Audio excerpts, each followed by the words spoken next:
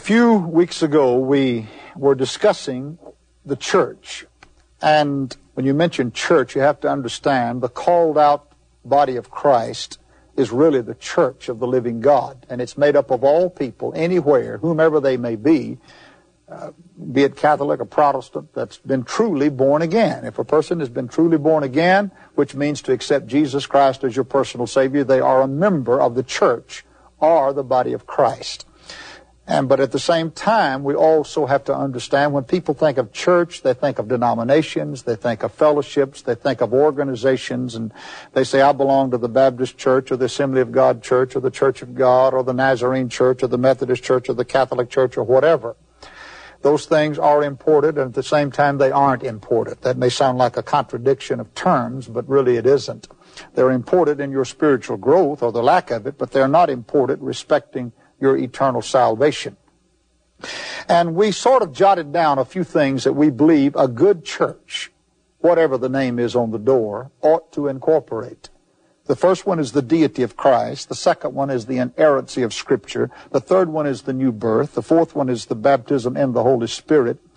In other words, a church ought to teach, believe, preach, proclaim, and practice these great cardinal doctrines or practices if they don't, they will be weakened by the amount they omit or eliminate.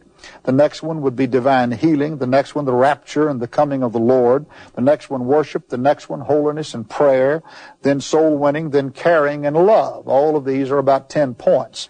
Now, the next one on our list would have been the baptism in the Holy Spirit, which normally follows uh, the new birth. And we will discuss that, but we're going to skip down to the rapture and the coming of the Lord. I wanted to get Dr. Hall in on this because he's taught this subject for years and years, and um, and I think it's tremendously important. So I, I, pray that it won't confuse you if we skip down, and I know that it won't because we can make it by the help of the Lord to fit. So we will be studying today and maybe tomorrow the rapture of the church and the coming of the Lord, and we'll get into some prophetic events and maybe be of some help to you when it comes to the kaleidoscope of events that is going to take place in the future, uh, the scripture tells us that uh, if I can quote the exact scripture, I didn't, it just came to my mind just a moment ago, that eye hath not seen, neither ear heard the things that God has prepared for them that love him. But uh, God, but God hath revealed them to us by his Spirit. We are not in the dark concerning futuristic events. I have sat across the table and looked into the eyes of the President of the United States, and I have met with him on more occasions than one, discussing the very things that we're talking about now in brief, trying to solve some of the problems. I don't know what I had to contribute, but we were there with other ministers of the gospel and so forth at times. And I have interviewed, talked with a number of world leaders, I'll, and I thank God for our present government. I think the Lord uh, has been instrumental in some of the men that now sit in high positions of government. I believe that. But at the same time, a person really that doesn't know Jesus Christ, doesn't know nor understand the Bible. Dr. Hall, I think it was yesterday's program or day before yesterday, said if a man is not educated in this book, he's ignorant. and that, that about describes it. And the world today muddles about not really knowing the future, not really knowing what is going to take place, what is going to happen. And we hear all types of things that are being discussed. Uh, some say the world is going to meet its doom as the world powers um, clash and thermonuclear destruction. Some say that it won't happen that way. It'll, it'll end as a result of a great ice age that's coming. And others say, no, that's not the way it's going to happen. It's going to heat up until we burn to a crisp. And others say it won't happen that way, that uh, we're going to be polluted to death and on and on the scenario goes. But the Bible does not leave us ignorant. I don't know what your church teaches. I have no idea. And getting out into the arena, and I use that word broadly, but getting out into among a lot of Christians, quote unquote, and a lot of people, There are all types of beliefs about what the future is going to hold, but I believe that this should be our foundation. I believe it should be our guide. I believe it should be that which we base um, what we teach and preach and practice on. I've been taught that whatever a person believes in the Word of God has to coincide with all the other scriptures and agree with all the other scriptures on that related subject throughout the entirety of the Word of God. You can make up a lot of doctrines, but if they don't all agree, if all these scriptures don't harmonize, you've got problems. And this is what we have today are problems. Because people don't make the scriptures harmonize when they come up with their particular doctrines. Here's what we teach and believe. You don't have to believe this to be saved, but you do have to believe it if you're going to get your future right. and it's this. We believe that at any moment the rapture of the church could take place. Now, the word rapture is not really found in the Bible, but it really comes from the word uh, great joy, great ecstasy of joy, which will be for the Christians that's caught up. 1 Thessalonians 4, 16 and 17 says, For the Lord himself shall descend from heaven with a shout, with the voice of the archangel, with the trump of God, and the dead in Christ shall rise first. Then we which are alive and remain shall be caught up together with them in the clouds to meet the Lord in the air, and so shall we ever be with the Lord. Wherefore comfort one another with these words. And I heard this man say many, many times, and preaching camp meetings with him years ago, uh, we've got a lot of Christians today that teach that the church is going to go through the great tribulation period. They teach there will be no rapture at all, or else the rapture will come in the middle of the great tribulation period, or else it'll come at the end of it, or whatever the case may be. And uh, he went on to say, and I'll let him comment on it in a moment, that telling people they've got to go through hell isn't much comfort. and so the Apostle Paul told us to comfort one another with these words. We believe, first of all, the rapture will take place. Then the great tribulation period, which will last seven years, will begin. And we're going to go into little detail on all these things and discuss them, but I'm laying down a, ground, a foundational groundwork at the present. After the great tribulation period, at the end of it, where the battle of Armageddon takes place, we believe that Jesus Christ will come back with all of his saints.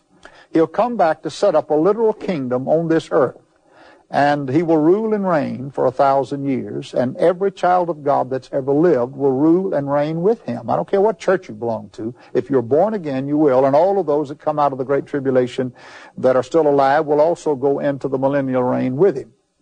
At the, at the end of the great millennial reign, which will last a thousand years, Satan will be loosed. He will have been locked up but he will be loosed for a little season, and his sojourn will be very brief and very short and uh, he will be locked away forever at the end of that great millennial reign. And the earth will experience a baptism of fire at the end of it, where the earth will be changed and renovated by fire, the heavens as well, and so forth.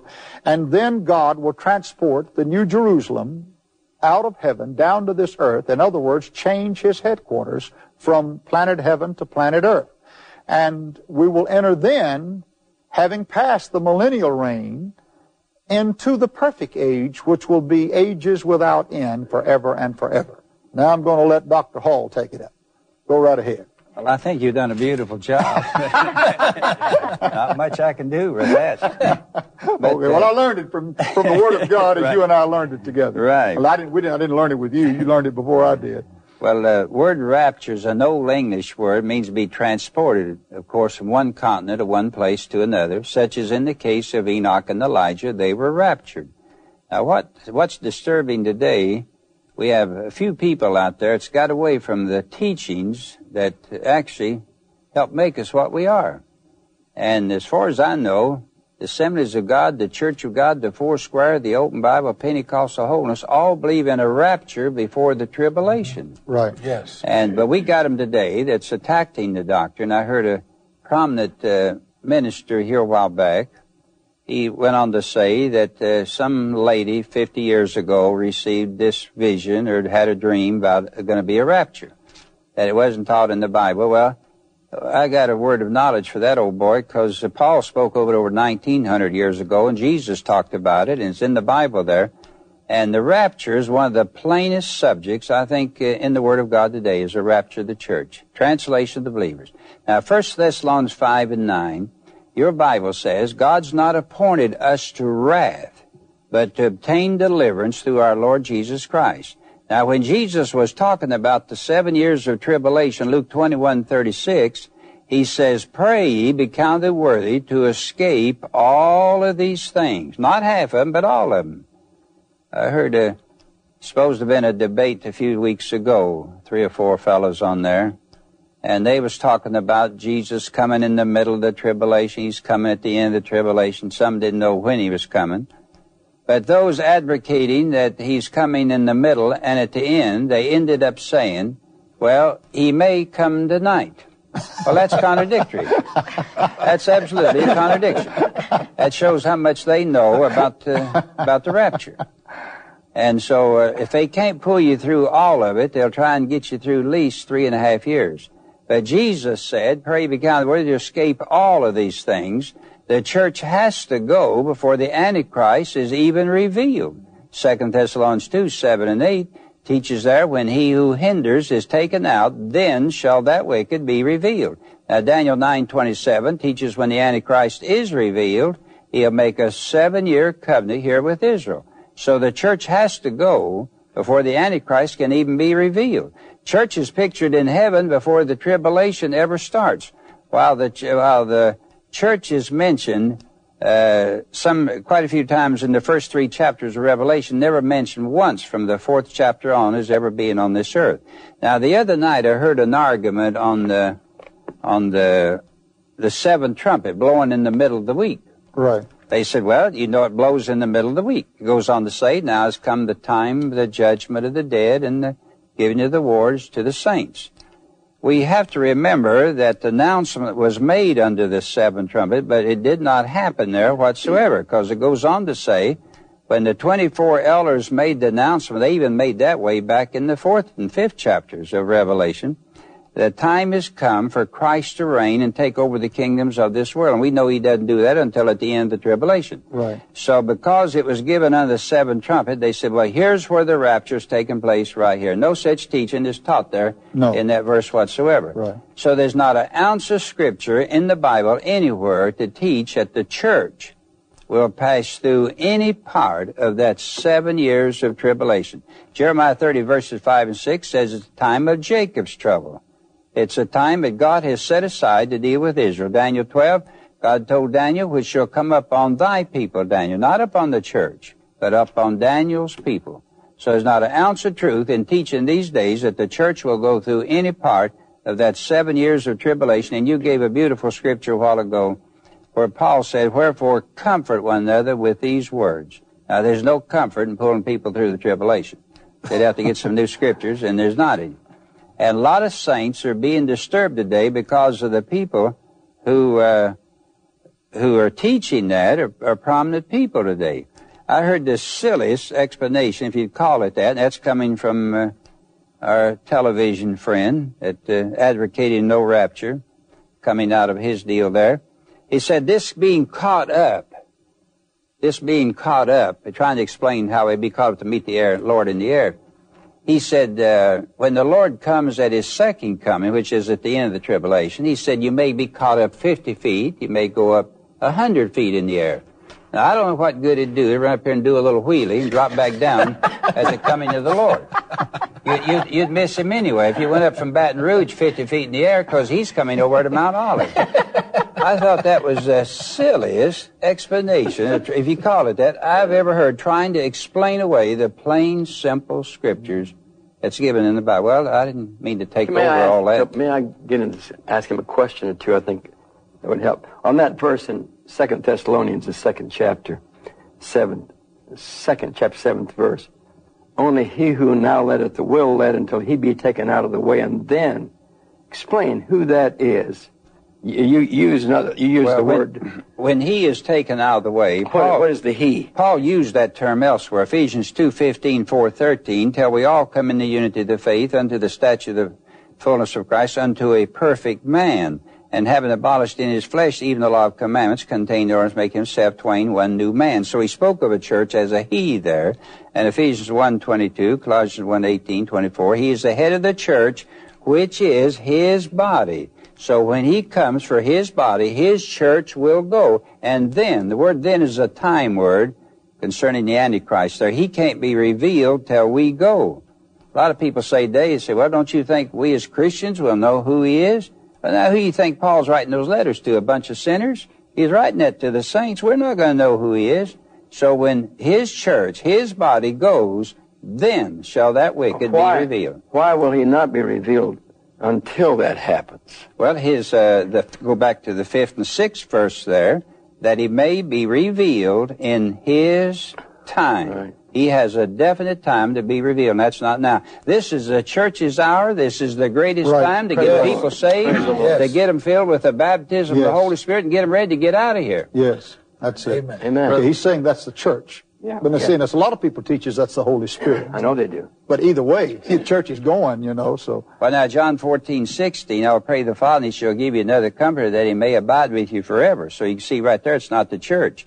And John 3, 5, except a man be born of water and of the Spirit. You can't be saved out the Holy Spirit. So you have to leave it like it is, that the Holy Spirit will abide on the earth forever. You have thousands saved through the tribulation. You have the 144,000, you have the martyrs, and the two witnesses will be here in the middle of the tribulation. They preach in the old time gospel, the two anointed ones. Israel flees into the old city of Petra, the ancient capital of Edom, in the 12th chapter of Revelation. And your Bible said she's keeping the commandments of God and has the spirit of prophecy. so you're saying the Holy Spirit will continue to be here during Holy the Great Tribulation Holy Spirit abide on the period. earth forever, right on through the millennium, and still be getting the baptism out in the millennium. Does the power of the church, is it a restraining force against this power of darkness? Yes, it is. It said, He who hinders will hinder. Thank God for the church, for the television programs, and for the gospel that's being preached around the world. It's keeping, keeping that back. And when this uh, church goes, when, when God's believers leave this earth, born again Christians, what you've been discussing all week, when His church goes, then shall that wicked, there's where the devil will take over. How bad will it get? Well, it's, it's it, as words fail us to describe it. When God calls the salt of this earth out of this earth, all hell is turned loose on this earth. Jesus said Great Tribulation. didn't he? And woe be unto the heavens to the earth, for the devil is come down among you. The devil will be right here in person during the tribulation. They'll have him with them. Let him have him. We'll be gone. But Brother John, there are some who's teaching that the church needs to be purged and they need to be purified. And this is the only way they're going to be purified through a tribulation. No, uh, salvation. When you get saved, you're a born again believer. You're ready to go. You're eligible for all the gifts of the Spirit. You're eligible for all the things that God has for you. And you're as pure as you'll ever be. You're saved. You're born again. And you're going home.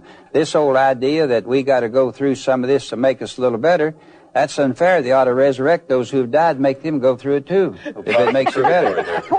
How do they get this? Where is it scripture? Do No, they have scripture no, to back they- that up? No, it, uh, what it does, it creates a lot uh, loose living, Francis. People think, well, there's no rapture when we're not going to be raptured, so we'll have time, and it creates a lot of loose living actually among people. You're exactly Because it's right. a purifying It hope, does. Brother Swaggart. It's a blessed hope. It's a purifying hope. And if we thought The the, rapture Lord, is, yes, yeah. sir. If we thought the Lord's coming in the next three or four minutes, it would change the whole attitude of people. Yeah, it would. It really would. Yeah.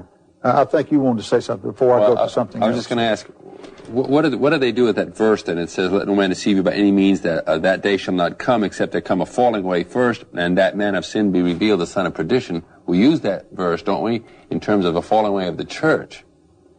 Well, it's hard to have a revival if you're preaching the falling away. And we believe in revivals today. We don't preach falling away.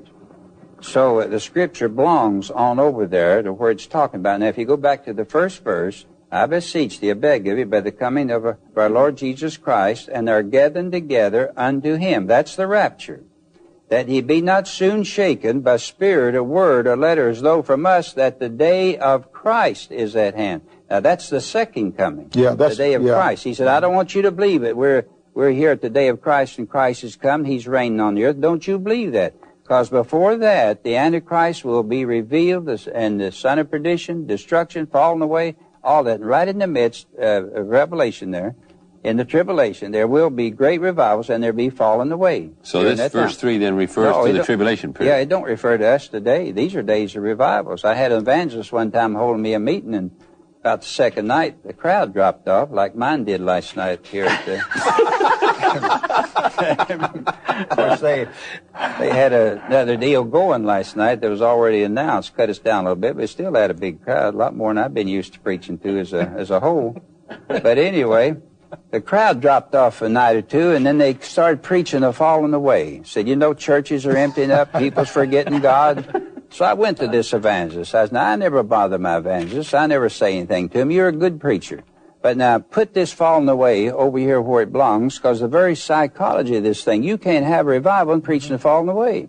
So the falling away is not now. What, where do you think the church is today?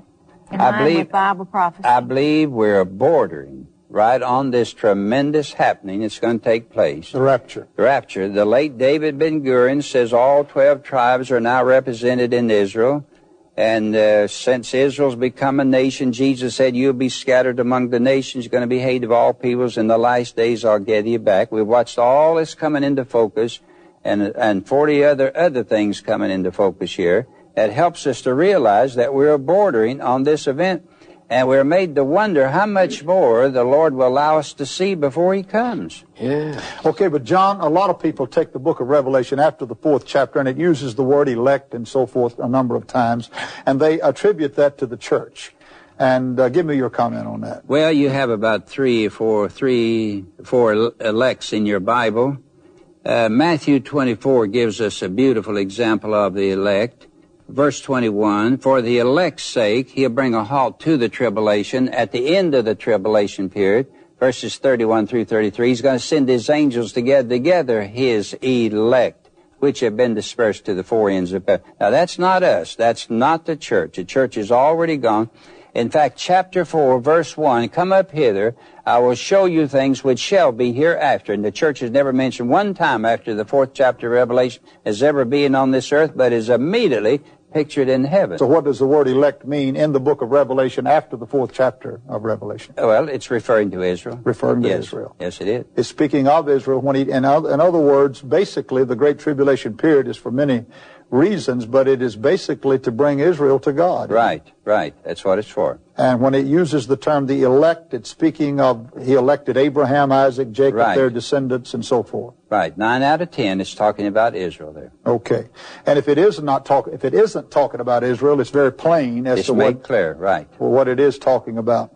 So I want to ask the question. Uh, now you mentioned about Assembly of God, Church of God, Pentecostal, Holiness, Foursquare, but what do the Baptists believe about the rapture? I'm, I'm, I'm asking for information. I really don't know. I thought I knew, but somebody uh, disinformed me the other day. Generally, they're dispensationalists, and they would be, believe in the pre-tribulation rapture. I, I thought they did. Yes, that's they that's do. what I thought. Well, what about the Methodists? The old Methodist was post-millennium. They, Catholic, I'm, I'm sorry, Nazarenes about the same way. Yes. Yes, okay. And Catholics, I don't, I don't think they know anything much about a rapture, do they? I, I'd like to know what your church teaches concerning the future, concerning the rapture, concerning the second coming of the Lord.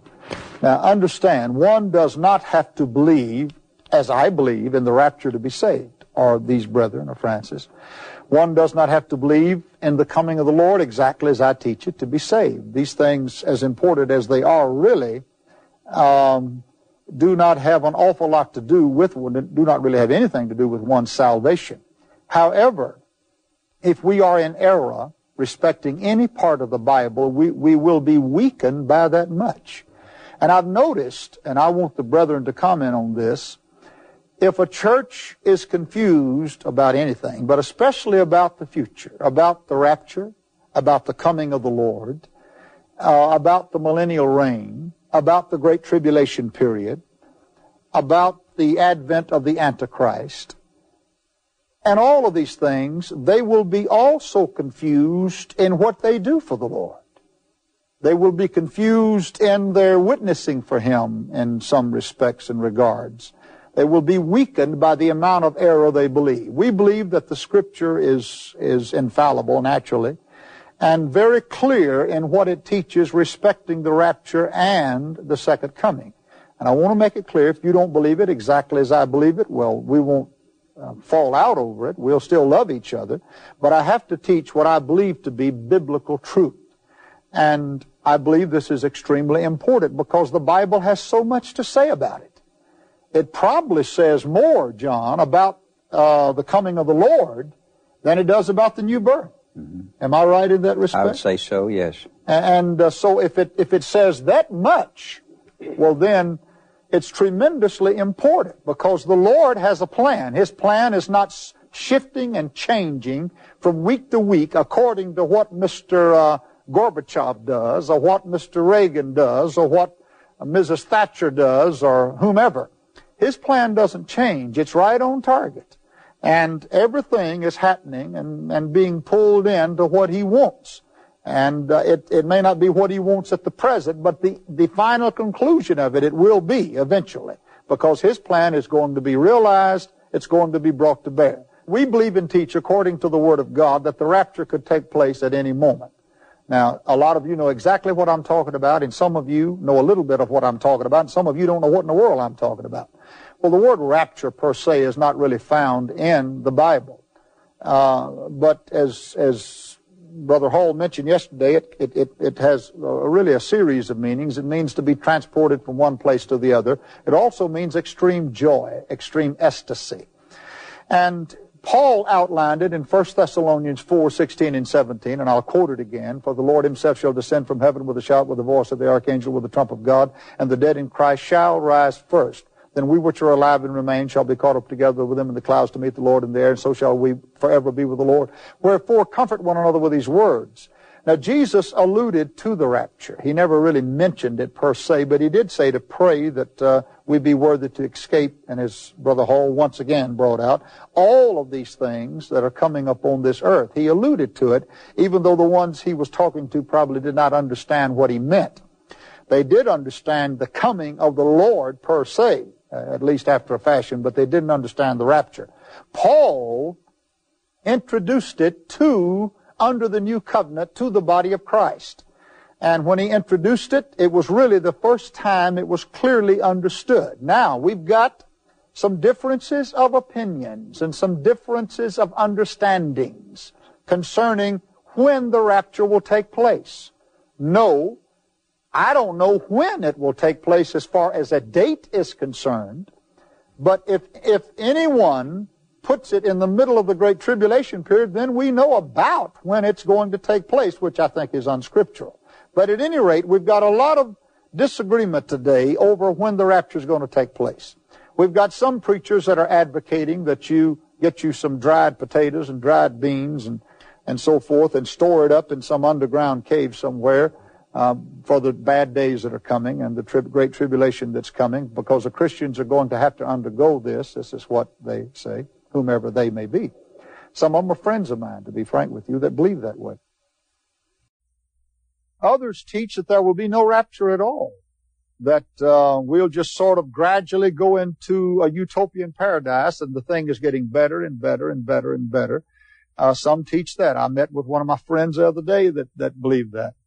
Uh, others teach, as I mentioned briefly a moment ago, that the rapture will take place in the middle of the Great Tribulation period. Others teach that it'll take place at the end of it. Some teach, as I said, that it won't take place at all. And and uh, somebody said yesterday, some teach that uh, raptures. I, I never heard of this, but we'll kind of go up in the air a few feet and come back. I'd never. That was a new one on me. I never heard of that one. We teach that the rapture could take place at any moment. We teach it could take place today. It could take place next week. We teach there are no scriptures to be fulfilled before the rapture takes place. There are many scriptures to be fulfilled before the second coming takes place, but not the rapture. And um, uh, that's what we teach. That's what we believe. We believe that uh, the Christian, the child of God, the church, the born again ones, whomever they may be, will not go through the great tribulation period. Tribulation, yes. The church has always gone through tribulation. And some of it has been extremely severe. Some has not been so severe. But as far as the great tribulation that Jesus talked about when he said there's coming great tribulation such as the world has never seen and, and has never seen before and will never see again, we do not believe the church of the living God will have to go through that because we do not believe that's scriptural. Brother Swaggart, Yes. would that be a good spot to explain Excellent spot. the, the difference between the, it has been said, but a little vague, the rapture of the church, and you said the second coming. I think- Explain that, John, the difference in the two, please. Well, the rapture is before the tribulation, and the second coming of Christ back to the earth is at the end of the tribulation. One is for the church, the other is more or less uh, bringing the saints back and taking over the kingdoms of this world. Israel's looking for his time when he'll come back to the earth. The church today is looking for the rapture. Now, I might mention those who teach that Christ will come in the middle of the tribulation, they base it on the seventh trumpet. They quote from Paul's writings, we'll go up at the last trump. The trump of God shall sound, and at the last trump, evidently it blows twice there. One for the dead, maybe, one for the living.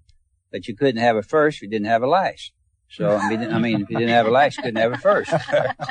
but anyway, That goes without saying. they advocate that uh, you're going up in the middle because the seventh trumpet blows in the middle of the week.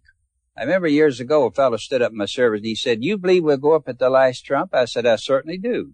He said, all right, the seventh trumpet blows in the middle of the week. I said, true. But sir, that's the, that brings woe and judgment. The trump of God brings blessing. One's before the tribulation, one is at the middle of the tribulation. Altogether different. And when they emphasize the last trump, why, there's three more after that. If you're going to emphasize the last trump, then go on down at the end of the tribulation, because there's when the trump will sound again, the gathering of Israel and all of that.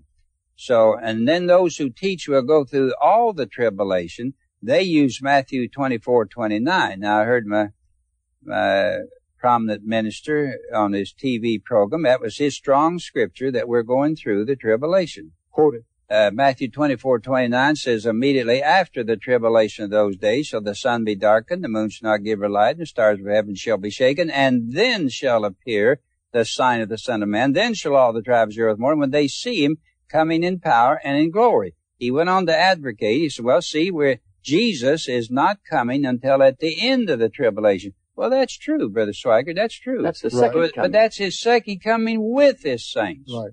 Uh, Revelation 19:11, John says, "I saw Christ coming on a white horse, and all the armies of heaven followed him on the white horse." But that's different than the rapture. Oh yes, Zechariah 14:5, "The Lord my God shall come, and all the saints with him." And old Enoch stood back before the flood, and Jude, uh, in Jude, well, there's only one chapter there. In Jude, the first chapter, he he prophesied, "Behold, the Lord cometh with ten thousands of his saints." Now you have to get up there before you can come from up there. And this little bunch is always going through the tribulation. That's the silliest stuff I've ever heard. How are you going to come from up there if you never get up there? You'd miss the judgment seat of Christ. You'd miss the marriage supper of the Lamb. You'd miss all of those Yes. things because you're staying here on the earth. If if you believe the saints have to go through the Yes, great tribulation right. period, you will miss the the judgment seat of Christ. You'll miss the marriage supper of the miss Lamb, all of that. Right. and So- you, you can't come back if you haven't gone. That's a good thought. Yes. May I make a statement here? If I'm talking Yes. too much, stop me. But Seven years between those two comings. all right, this tribulation period, uh, where does it start? Now, what what starts the tribulation? Is, does it go a long period of time long- before it gets into it? Is it true that when the church is taken away, that is the starting of the time of Jacob's trouble? Is that the, is that, Is that the the, starting point? that That's what is it? That's when it starts there. We would say when God's people leave this earth, that's it. All hell is turned loose. And then shall the wicked. Yeah. be- He, it may be next week before he'll make the covenant with Israel. It might be two weeks, might be the month. But anyway, it starts right then. When he forms that covenant with Israel, that's Daniel's 70th week, Daniel 9:27. He'll confirm the covenant from one week, which is seven years. And when he sets himself in the temple, announces himself to be God in the middle of the week, Israel will see that he's a deceiver and they will break from him then. And it's more severe for even for Israel. From a practical standpoint, Brother Hall, I, would you describe what would happen on this set if the trump of God sounds and we're all going up On this uh, on this set? television set we're Yes. on right now? Yes. Well, we'd take out of here. We'd, I think I can get up through that ceiling there, but, but, uh, we'd, uh, rise to be with our Lord. Now, how fast we'll leave the earth, uh, it doesn't say. If, uh, the word uh, rapture says being caught up, how fast we'll go, I don't know.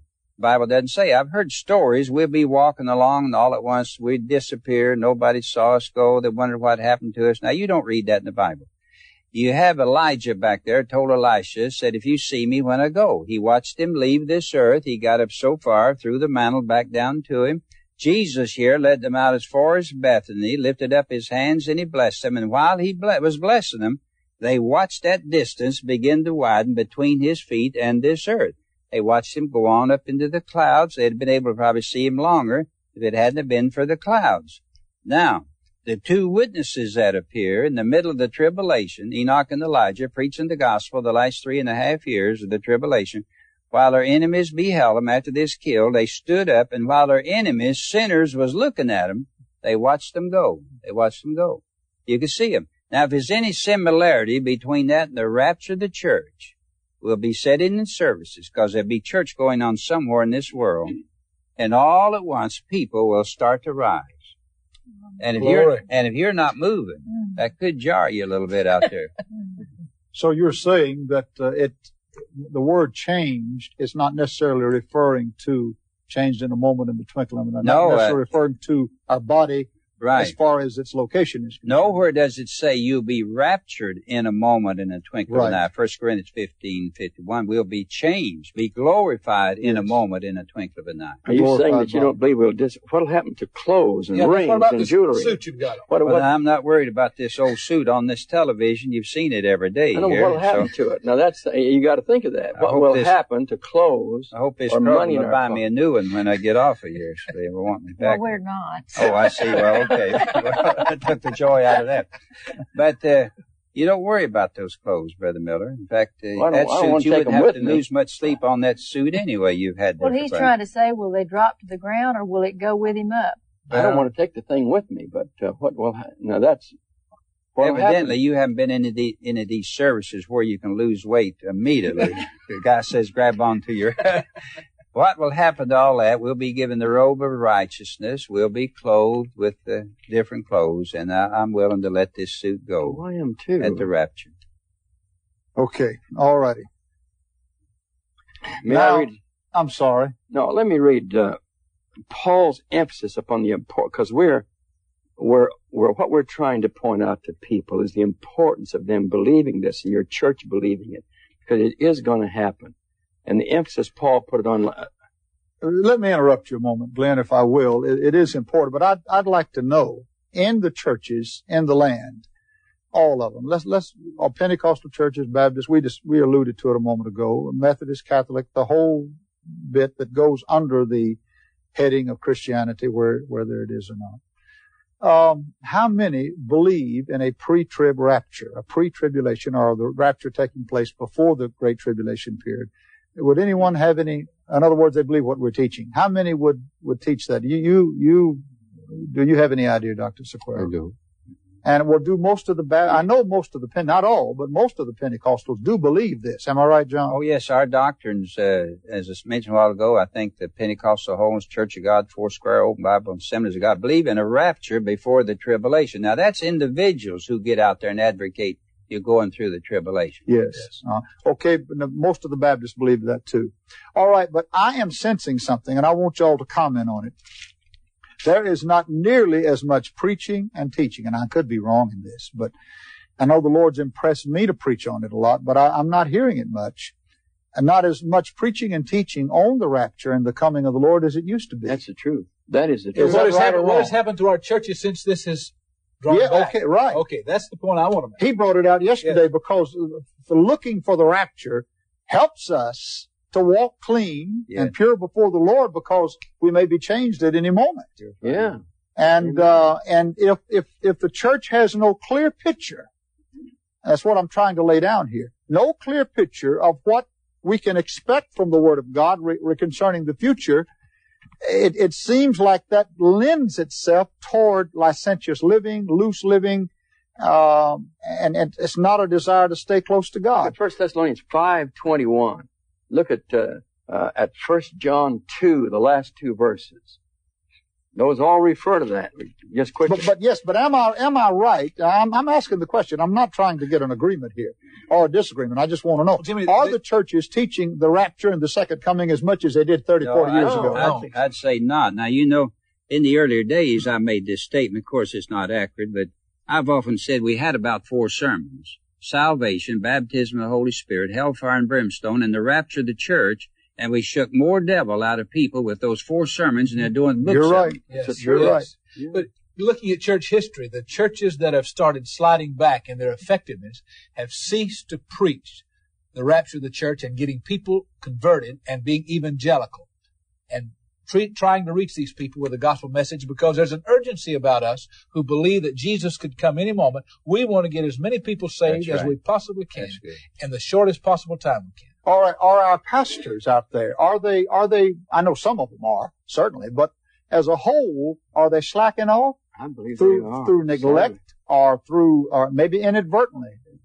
What do you know about it? Well, I think it's I think it's more than just not preaching the, the doctrine of the rapture of the church. I think we're missing it in a whole lot of other areas. We're talking about this one right now, but you're right. Well, yes, that's true. That certainly is correct. But, but I think I think if if we don't preach rapture of the church as much as we should, and we preach a doctrine of holiness, I think that church is going to maintain its walk. Oh, I think it I think it definitely the Bible says he that hath his hope in himself purifieth Yes. himself even as he is pure. So there is a a purifying effect to the to the coming of Jesus. This may answer part of your question, but uh, as you know, I do a lot of traveling, coast to coast, in and out of the country. And would you believe that in the full gospel churches, and I'd like to name the name, but I won't. I preached the rapture, and people come up to me and said, "Brother Hall, that's the first I've ever heard of this. That was going to be my next point. That's the first I've ever heard." And I said, "What church do you attend?" They said, "Well, this one here. This is all I know. I was saved in this church. That I've never heard anything on the rapture." And then I just scream inside. I think, "My Lord, what are we preaching today?" Do, do we have a flock of, of Assembly of God, Church of God, Pentecostal Holiness, Foursquare, even Baptist, and Nazarene, and so forth, that the people attending our churches have never heard of the rapture? If it is, it's some illusion that they don't really know or understand. It's not being preached or taught from behind many pulpit. Not all, but many. You said it. Let me read these. May I read these scriptures? Yes. I Rejoice evermore, pray without ceasing, and everything give thanks, so on and so forth. Abstain from all appearance of evil, and the very God of peace sanctify you wholly. And I pray God, your whole spirit and soul and body be preserved blameless unto the coming of our Lord Jesus Christ. John says, And now, little children, abide in him, that when he shall appear, we may have confidence and not be ashamed before him at coming. In Titus 2, for the grace of God that bringeth salvation hath appeared to all men, teaching us that denying ungodliness and worldly lust, we should live soberly, righteously, and godly in this present world, looking for the blessed hope and glorious appearing of our great God and Savior Jesus Christ, who gave himself for us, that he might redeem us from all iniquity and purify unto himself peculiar people. So those scriptures over and over again tell us to look for it, Yeah. be oh, ready for it, Right. be Right. waiting for it. This is what it's all about. When I was a kid coming up, I, I, on the program earlier this week, I told how I got saved. From that moment on, it seemed like half the sermons the preachers preached. Yes. The evangelists preached. Maybe they didn't know anything else. I don't know. But man, it was hammered into us. Get ready. The Lord is coming. The rapture is about to take place. Jesus is coming. It, I'll admit it was 10 years before I understood the difference in the rapture and the second coming. And I'm not certain a lot of those preachers understood the difference. But that, but anyway, the, the, the intent of their message got through to me. Let me ask you a question. Why is the holiness message not being preached? And I don't mean exterior holiness. I'm talking about living right and walking with God. Why is it not being preached like it used to? Well, I think a lot of the things.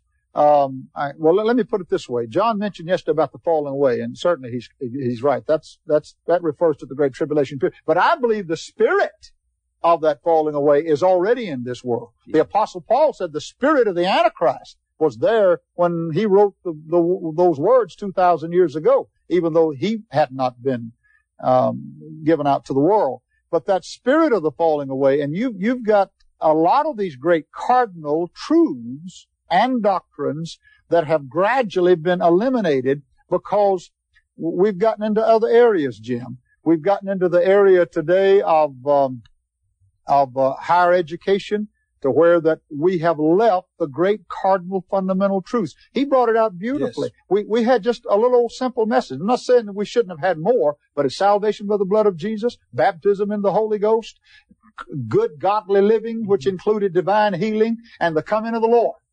That was about it. We got more people saved and got more hell stirred up and demons scared. But nowadays the message is more self-improvement. Yeah, self-improvement, Mhm. self-improvement. Do this and you'll make a million dollars. Do this and you're going to get rich. Do this and you're going to have a better home. Do this and whatever and whatever. And those old-fashioned doctrines he just mentioned will help us to have a better home, more, Yes. a, a- a better home, a, a better life, less nervous disorders than anything else we could ever have. Here's I the way believe. Peter puts it. The second epistle, beloved, I now write unto you in both which I stir up your pure minds by way of remembrance, that ye may be mindful of the words which were spoken before by the prophets with the commandment of the apostles of the Lord Savior, knowing this first, that there shall come in the last days scoffers, walking after their own lusts, and saying, Where is the promise of his coming? For since the fathers fell asleep, all things continue as they were from the beginning. They're saying because of scoffers and people who speak lightly of it, or where is it, hasn't come. I want to make it clear, Glen. I think the tenor of the Word of God, the, the tenor of it, the tone of it, constantly sets the stage Really for does. the Christian to be constantly looking for the appearing of mm-hmm. Jesus Christ. And if that is not taught, that creates a spiritual weakness. It. It creates an erroneous attitude. It creates a position that is really untenable according to the Word of God. It really is. And uh, if you teach that he's not coming until a certain time, middle of the tribulation period, or after it, or not at all, well then you're not you you are you are subtracting from that spiritual tenor laid down in the Word of God that I, I think it's full of it. You've read it there over and over again. And uh, I think if we if we go opposite of that, we're hurting ourselves very. And get very out of that church that doesn't preach this thing. I'm saying that. You're not saying I'm saying the. Get out of it. If they don't preach this truth of the revelation, the coming of Okay, I've, I've got 30 seconds left. Is it possible? Oh Lord, I shouldn't say this. I don't guess. I went off the air yesterday in a terrible way. I don't want to do it again today in the week. But is it possible if we get all confused on this that we may get confused? You brought it out. Uh, you had it in another way. We may get confused on holiness. We may get confused. I believe. Okay. I, I, I think so too, because I think all of this ties in together. And one of the reasons we don't have the holiness that you mentioned, and we're not preaching it, we're not talking about it, that, that closeness to the Lord, that nearness to the Lord, because He's not coming now. That's right. Blessed He delayeth his coming. He delayeth his coming, and we're in trouble. We believe and teach, and when we got into it last week, I learned more about it myself, and I think the Holy Spirit impressed me even more. So with the fact that if a church does not understand or believe in the rapture of the church and the second coming of the Lord, that church is going to be somewhat spiritually weakened and will not complete the total embodiment of the great doctrines of the Word of God. Here, here's what we're learning, and it, it's it's it's upsetting to me, and it bothers me, and I'm digressing a tiny bit before I involve Dr. Hall in the panel. I believe that the rapture of the church is a cardinal biblical doctrine. 1 Thessalonians 4, 16 and 17 says, For the Lord himself shall descend from heaven with a shout, with the voice of the archangel, with the trump of God, and the dead in Christ shall rise first, and we which are alive and remain shall be caught up together with him in the clouds to meet the Lord in the air, and so shall we ever be with the Lord. Wherefore comfort one another with these words. We believe that is, that is when Paul gave the great teaching of the rapture to the church. We believe the rapture could take place at any time. Any time. It could take place before this telecast is concluded. We believe there are no scriptures to be fulfilled before the rapture could take place. There are many scriptures that must be fulfilled before the second coming will happen and take place upon this world and Jesus comes back. But there are two great differences in the rapture and the second coming. Two, two differences, uh, what am I saying? Many differences in these two comings. Um, but we're finding that many of the preachers, the churches, and the preaching today does not include the rapture and the second coming as um, it used to. This is disconcerting. It bothers me because I feel this is erroneous. I feel like that that and and our pastors and our evangelists and our Bible teachers that are eliminating and omitting uh, this tremendous doctrine. I feel like that it's weakening the body of Christ. Uh, secondly, it it it it causes many many people to um, just not look for the coming of the Lord anymore. They're, they're not really looking for it as I did when I was just a boy. And I think this creates a lack of spiritual awareness because one of, one of the great facets, I think, of living for God is for a person to be constantly looking for the soon and imminent coming of the Lord Jesus Christ. I think that's paramount. I think we must understand that. Okay. And last of all, we have a lot of preachers, and I think it's becoming more and more, and sad to say it's a fulfillment of Bible prophecy, that are completely ignoring, and not so much ignoring, but literally denying the rapture, saying that it will not happen. There's no such thing as a rapture, etc., etc., etc. So this is what we're facing today, and I think this is the reason that we must discuss this and must, must do so at length. Because even though many of you that watch this telecast know exactly what I'm talking about, more than likely, more than likely, more do not understand it than do understand it. So that's the reason we're taking the time that we're taking. All right. Here's what we want to discuss and here's what we want to do right now. This is going to shock you a little bit, uh, and it's this. There are and will be more raptures than one. We all think of one great general rapture, but there will be more than one. And I want Dr. Hall to, to give us the scriptural setting for the raptures and when they will take place, basically.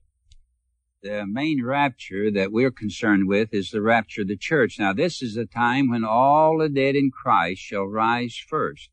That goes all the way back through the Old Testament. And then the New Testament saints, those who have died and gone on to heaven.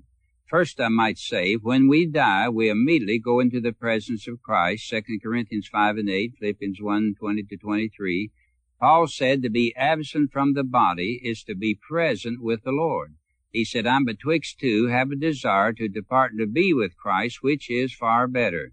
Now this will help you to understand. Here's people in heaven, and a lot of people ask this question, Brother Swaggart. They say, well, if you die and you go to heaven, how is it that you can have a rapture? Good how can you have a resurrection? Good point. Talk about it. And well, you when you die, you immediately go to heaven. Then Paul made a statement. He said, "I would not have ye be ignorant, brethren, concerning them which are asleep. For if we believe Jesus died and rose again, those asleep in Jesus will God bring with him." Now you're in heaven, but at the time of the rapture, the spirit and soul will return to this earth and will unite with the body. And that fulfills 1 Corinthians 15:38, which says, God giveth it a body as it has pleased him, and to every seed its own body. So there we have the resurrection of the righteous dead, and then we which are alive and remain will be caught up together to meet the Lord in the air. This coming, we are meeting him in the air. Now this is the main general rapture. This is the one we're all looking for. And you were saying God gives that person a body. Right. To every seed its own body. That's at the rapture here. That's uh, and that's the same time when this corruptible, speaking of the dead, puts on incorruption, and this mortals put, speaking of the living, puts on immortality. And then Paul said, then shall be brought to pass that saying, death is swallowed up in victory. o death, where is thy sting? Because you won't have to die if you're living when Jesus comes. You'll be changed in a moment, the twinkling of an eye. So, O death, where is thy sting? You won't have to go through the sting of death. And, O grave, where is your victory? Because the trump of God sound, you couldn't hold the dead any longer. I'm sure you've had meetings similar to this one. I remember years ago I was teaching up in, I believe it's Moose Jaw, Saskatchewan, Canada, having a meeting there. A dear brother stood up in the service. I was teaching you won't have to die if you live when Jesus comes. So he stood up in service. He, Brother Hall, he said, you were wrong on your teaching. So see, I've been told I'm wrong a lot of times. a lot of times I demand chapter and verse, and that makes it a little different there. But anyway, he said, you're wrong on your teaching because Hebrews 9.27 said it's appointed the man wants to die. He said, now at the rapture, when Jesus comes, the first thing he's going to do is kill us. Then he's going to resurrect us. I'd, I'd never heard that one. That's yeah, a new one. on Yeah, well, I've got a lot of new ones. I don't dare to tell them all to you, but but he said the first thing he's going to do is kill us. And the audience, they got a roar out of that one. I said, audience, take a look, and I gave him chapter and verse. We shall not all sleep or die, but we shall be changed. We which are alive be changed. So he sat down, and didn't bother us anymore. It is. It's appointed unto man wants to die, but the rapture is the exception. That's where Paul was showing a mystery that we won't have to, won't have to die if you're living when Jesus comes. So there's the main rapture. All the dead in Christ, 1 Corinthians 15, 22 and 23, they that are his will go at the rapture. And we, Excuse me now, that, you mentioned it, but I want you to, I want you to uh, talk about it again for a moment. Who will this main rapture include? Well, it includes the Christians. All the dead in Christ who've died and all the living saints will be caught up. This is born again believers. All the way back to, Adam, if Adam ever got back to God or not, we don't know where Adam and Eve ever got saved or not. They fell from grace. Some think thought he couldn't, but he did. And so, and Paul used those very terms, wherefore ye are fallen from grace. So Paul would be out of order with some people, but Lord help us not to get in that. But uh, anyway, all the dead in Christ and the living saints will be caught up, and they, that means they that are His, they that's born again. Now, Christians, uh, are going to leave this earth. If you're saved, you're going. So that's the main one. Now, following that, you have, uh, you have four more raptures. You have the rapture of the 144,000 Jews sealed right after the rapture of the church, and they're protected through the trumpet judgments. They're raptured in the middle of the tribulation, known of as the man-child of Revelation 12. And they're not to be hurt by the plagues, and they're sealed and protected. Following that, you have the martyrs. John looks and he sees a number that no man could number of all tribes, kindreds, tongues, peoples, and nations. Revelation 7, verse 9. Verse 14, he asked one of the elders, Whence are these that are arrayed in white robes, and whence came they? And he said, Sir, these are they that came out of great tribulation, having washed their robes white in the blood of the Lamb. Now, there's your martyrs. And if you recall, under the fifth seal, John saw those martyrs up there. And they cried, How long, holy and true, thou not judge our blood on them that dwell on the earth? And he said, Rest a little season till your fellow servants should be killed. So white robes were given unto them. There's a point there I'd like to insert there. Uh, if you notice, those souls were fully conscious. Nowhere in your Bible does it teach soul sleep. right. They were fully conscious in heaven. Luke 16 is a concrete example after death. It's fully conscious. Why don't you explain what soul sleep is, so in case some of the folk don't know what you're talking about? Well, a lot of people, we have our friends out out in the west there, according to where you listen to this program. Lord, it could be west anywhere, I guess. And, uh, but anyway, a lot of people teach soul sleep. You don't know anything, soul's unconscious and all that. And no such teaching in the Bible. You mean after death? After death, yes. So uh, their souls are fully conscious after death and either go to heaven or hell. so, so Paul was making the mention of those, and John there in in his writings in Revelation. Now, this group of martyrs, they'll all go up near the end of the tribulation. They'll they'll rest a little season till a fellow servant should be killed, and they'll all go up together. So you got the rapture of the church before the tribulation, the rapture of the 144,000 in the middle of the tribulation. You got the martyrs near the end of the tribulation. And then you've got the two witnesses, two men in heaven now, that God has up there and going to dispatch back to the earth in the middle of the tribulation, preach the gospel for three and a half years.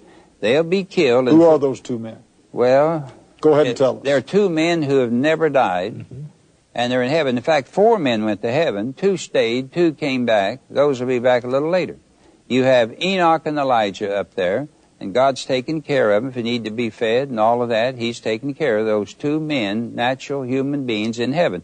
And did you know nowhere in the Bible does it say that flesh and blood can't enter heaven? Nowhere does it say He that said can't inherit the kingdom of inherit. God. First Corinthians fifteen fifty said, "Flesh and blood will not inherit the kingdom of God." And you know there's a difference between enter and inherit. Mm-hmm. I entered the bank the other day, but I haven't inherited it yet, and and I won't till I get over in the millennium. so there's a difference. Anyway, that completes the that's the first that completes the first resurrection. So when Jesus arose, you have a rapture there. You have a rapture of the church before the tribulation, rapture of the 144,000 in the middle of the tribulation, rapture of all the martyrs going up near the end of the tribulation, and the two witnesses completes the first resurrection. That's why John could say, Blessed and holy is he hath part in the first resurrection. Then he goes on to say, The rest of the dead live not again till the thousand years were finished. The wicked don't rise with the righteous. There's at least a thousand years between the two resurrections. Okay, so how many raptures are there in all? There's at least five. At least five. Four more to go. And how many more God on And the, the first one that you just explained took place when Jesus Right, rose from right. the dead, back 2,000 years ago. may, Uh, I, may I ask a question yes, here? yes, Uh, please do, Glen. I don't. I, this wasn't uh, common, but I did hear uh, quite a well-known preacher say that he thought that all through the tribulation, that those who truly gave their hearts to the Lord, renewed their faith, and were filled with the Spirit would be raptured You mean right then? right then. Have you heard that? Uh, yes. taught I- some. well, I heard as soon as they kill them, as soon as they martyr them, they jump up and run off. Now, you don't read that in the Bible. You read the contrary. Uh, the, under the fifth seal of Revelation, he said, You rest a little season till your fellow servants should be killed. In other words, you're going to make this number that no man could number of all tribes, kindreds, tongues, peoples, nations. So, no, that's not that's not the teaching. They don't get glorified bodies just when they're killed or anything like that. They Brother rest till near the end. Also, another question has come up to me several times. We say that the spirit and the soul has to be united to the body, but there is no body from Adam to to the New Testament saints. I mean, it's all decomposed, and I mean, we can't think in terms of a body. The ashes are going over to the sea, and those kinds of things. How do, That's how do we why- understand That's that? why I gave you that scripture a while ago. God giveth it a body as is pleased him to every seed its own body. It'll look just like the original body, be the be the same body, except be glorified. So we're talking about if the seed then has been planted, not necessarily looking for the same actual body, Right. because God would have to bring it together from a lot of different sources. Uh, yes, but I think that body will look Right. the same, basically. Right. Jesus looked the same. He said, Handle me and see, a spirit hath not flesh and bone, did you see me have? So he could eat, he could visit, they could touch him. So it is with us. When he shall appear, we shall be like him. Amen. Dr. Hall, last week we were discussing the rapture and the practical aspect of it of when we leave this earth. In the situation with Jesus, he is the first fruits of those that slept. He's, Any- he's the first to rise with a glorified body. Okay. When they got to the tomb, what did they find? They found the linens in place, intact.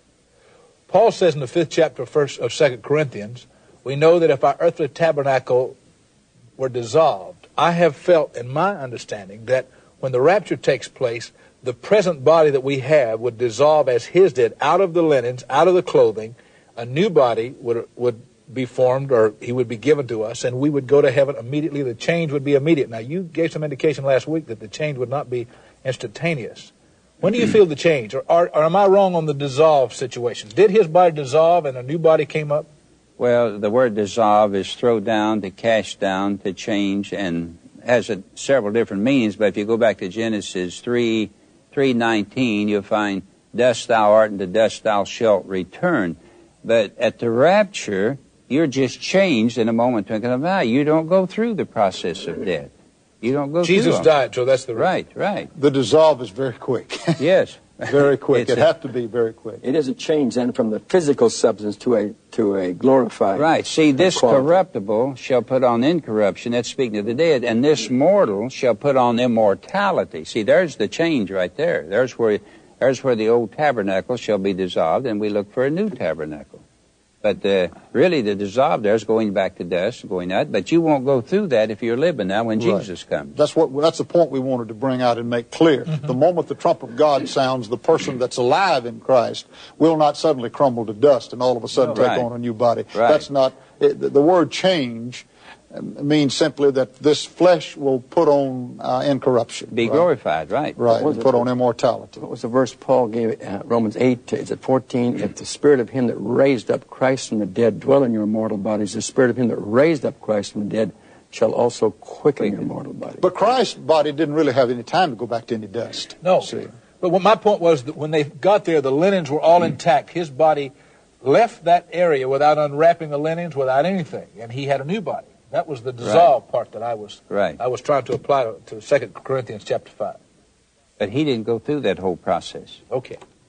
Right. Okay. So an important issue is here that uh, the important issue for us then is that we have the Spirit of God. It- This is not an outward work. This, this is the work that's done inwardly, that changing comes as a result of having His Spirit. Well, if you don't have the Spirit, you're not going anywhere. Not going to change, you're not going to change. Just So it takes the Spirit Yeah. of God in us. But Brother Right. Stryker, what he's mentioned to me has been uh, last week was so impressive to me, and I'd never understood it this way. He's teaching that, that the, the unbelievers will be able to watch us as we leave this earth. Well, I, I heard a little bit of that, and uh, um, I, I uh, that's been in my mind too for this particular reason.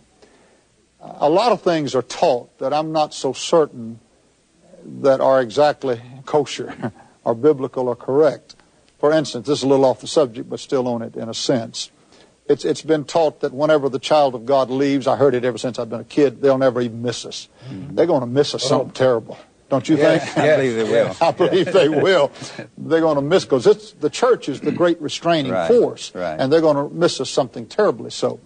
But when it when it when that change takes place, that that really doesn't mean a disappearance, does it? Shall be changed right. in a moment in the twinkling right. of an eye. And what you're saying that the possibility exists that those that are here and it'll be daytime in some parts of the Right, world, right. will actually see their loved ones leave. They could easily do it because they saw the others. Uh, Elijah, they saw him when he left the earth. Right. They noticed Jesus as he left. And sinners have eyes. They can see the same as saints can. And I think that'd be the greatest awakening that has ever hit this Wow. earth. All at once see people rising and going up. If you wanted to get the attention of the world, if, if you wanted to Right. really get the attention of the whole wide world, the rapture will get the attention of this planet as nothing else Yes. ever has. That's the greatest thrilling thing you can think of is think of everybody going up from the all around this world. Every child of Yeah, God. all at once. Babies will leave the crib. Okay, what is the purpose of the rapture? Why does really God, I know he wants to get the attention of the world, but there are other reasons. Can you give us that? Well, to take us out of the world before the wrath of God is poured out upon it. Ah, but you're going to get an argument there, John. A lot of people says that the wrath is really made to purify us. Yes, yes. Well, we wonder sometimes why, if they're going to argue that, why did John, that wrote the book of Revelation, why did he die a natural death, went on back over there and pastored a church and all of that after the Isle of Patmos, and the others were crucified, others were killed different ways, and old John got out of that and died a natural death.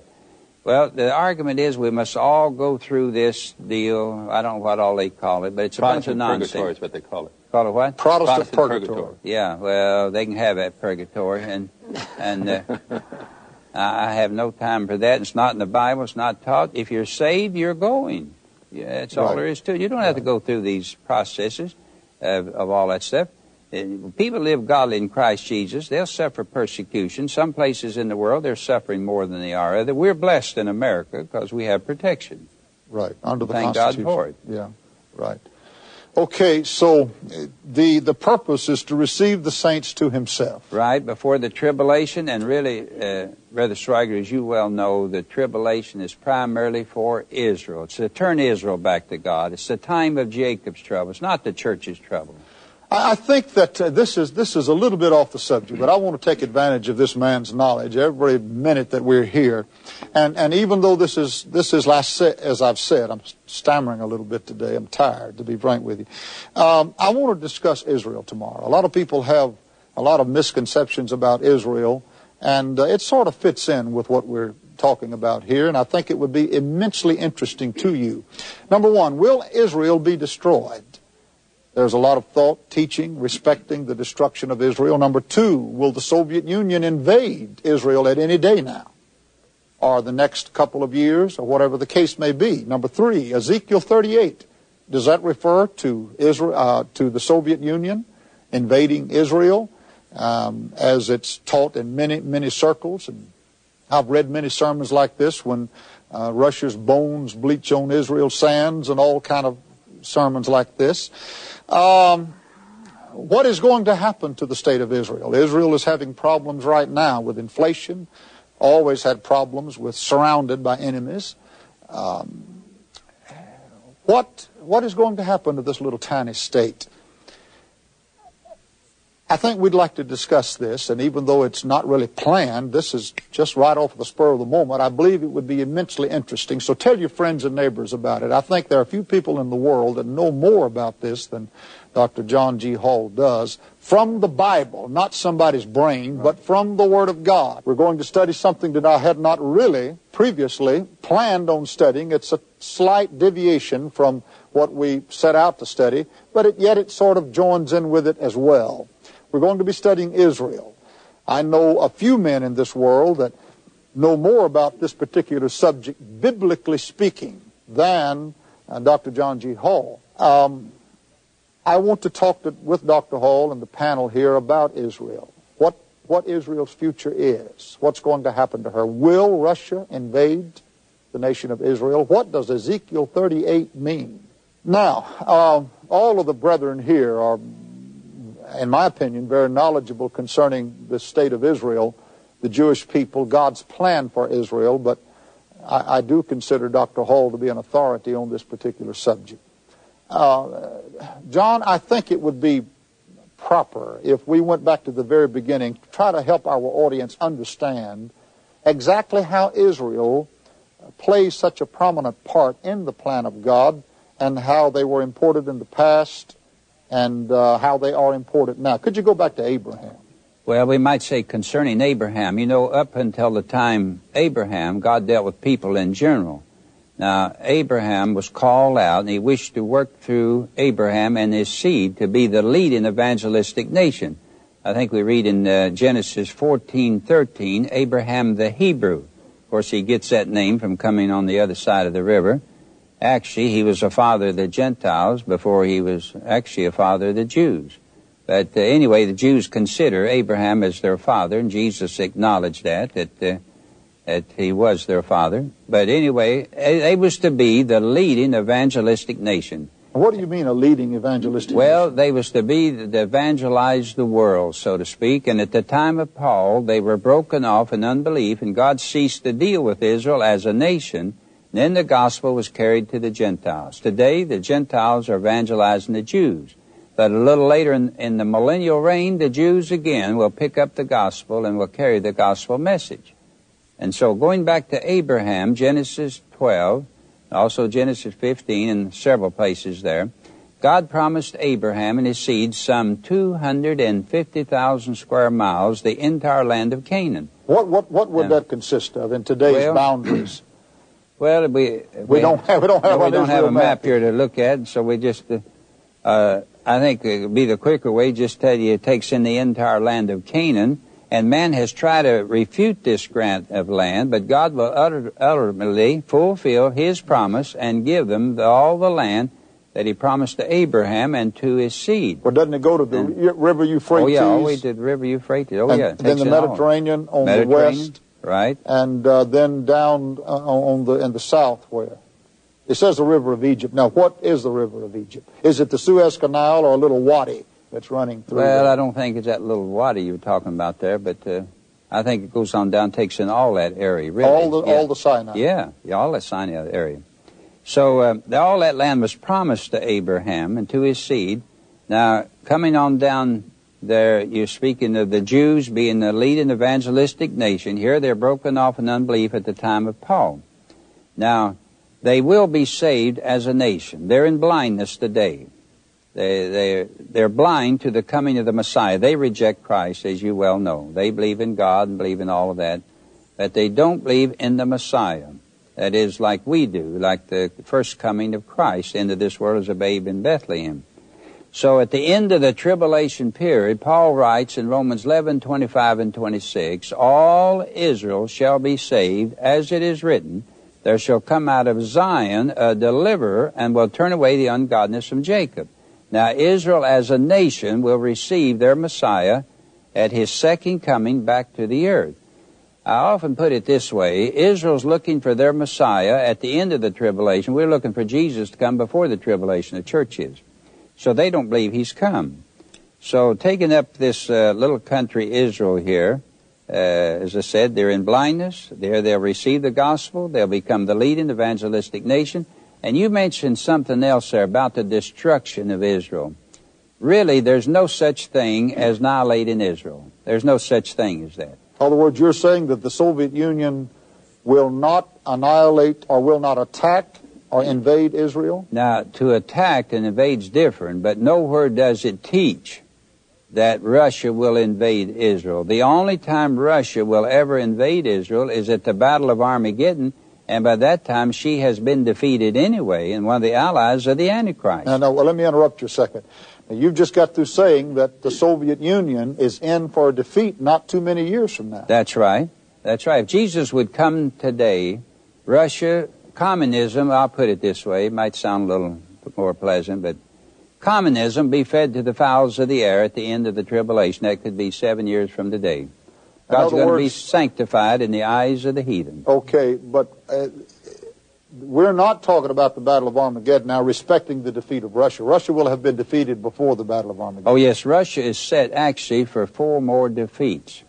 Her first defeat will be losing power over many of the old Roman Empire countries. like Yugoslavia and so Yeah. Albania, Rome, uh, Bulgaria, and Romania, and those countries she holds sway over today. Those are Roman Empire countries, and they will revert back and be under the leadership of the Antichrist. Okay, now where do you get that in Scripture?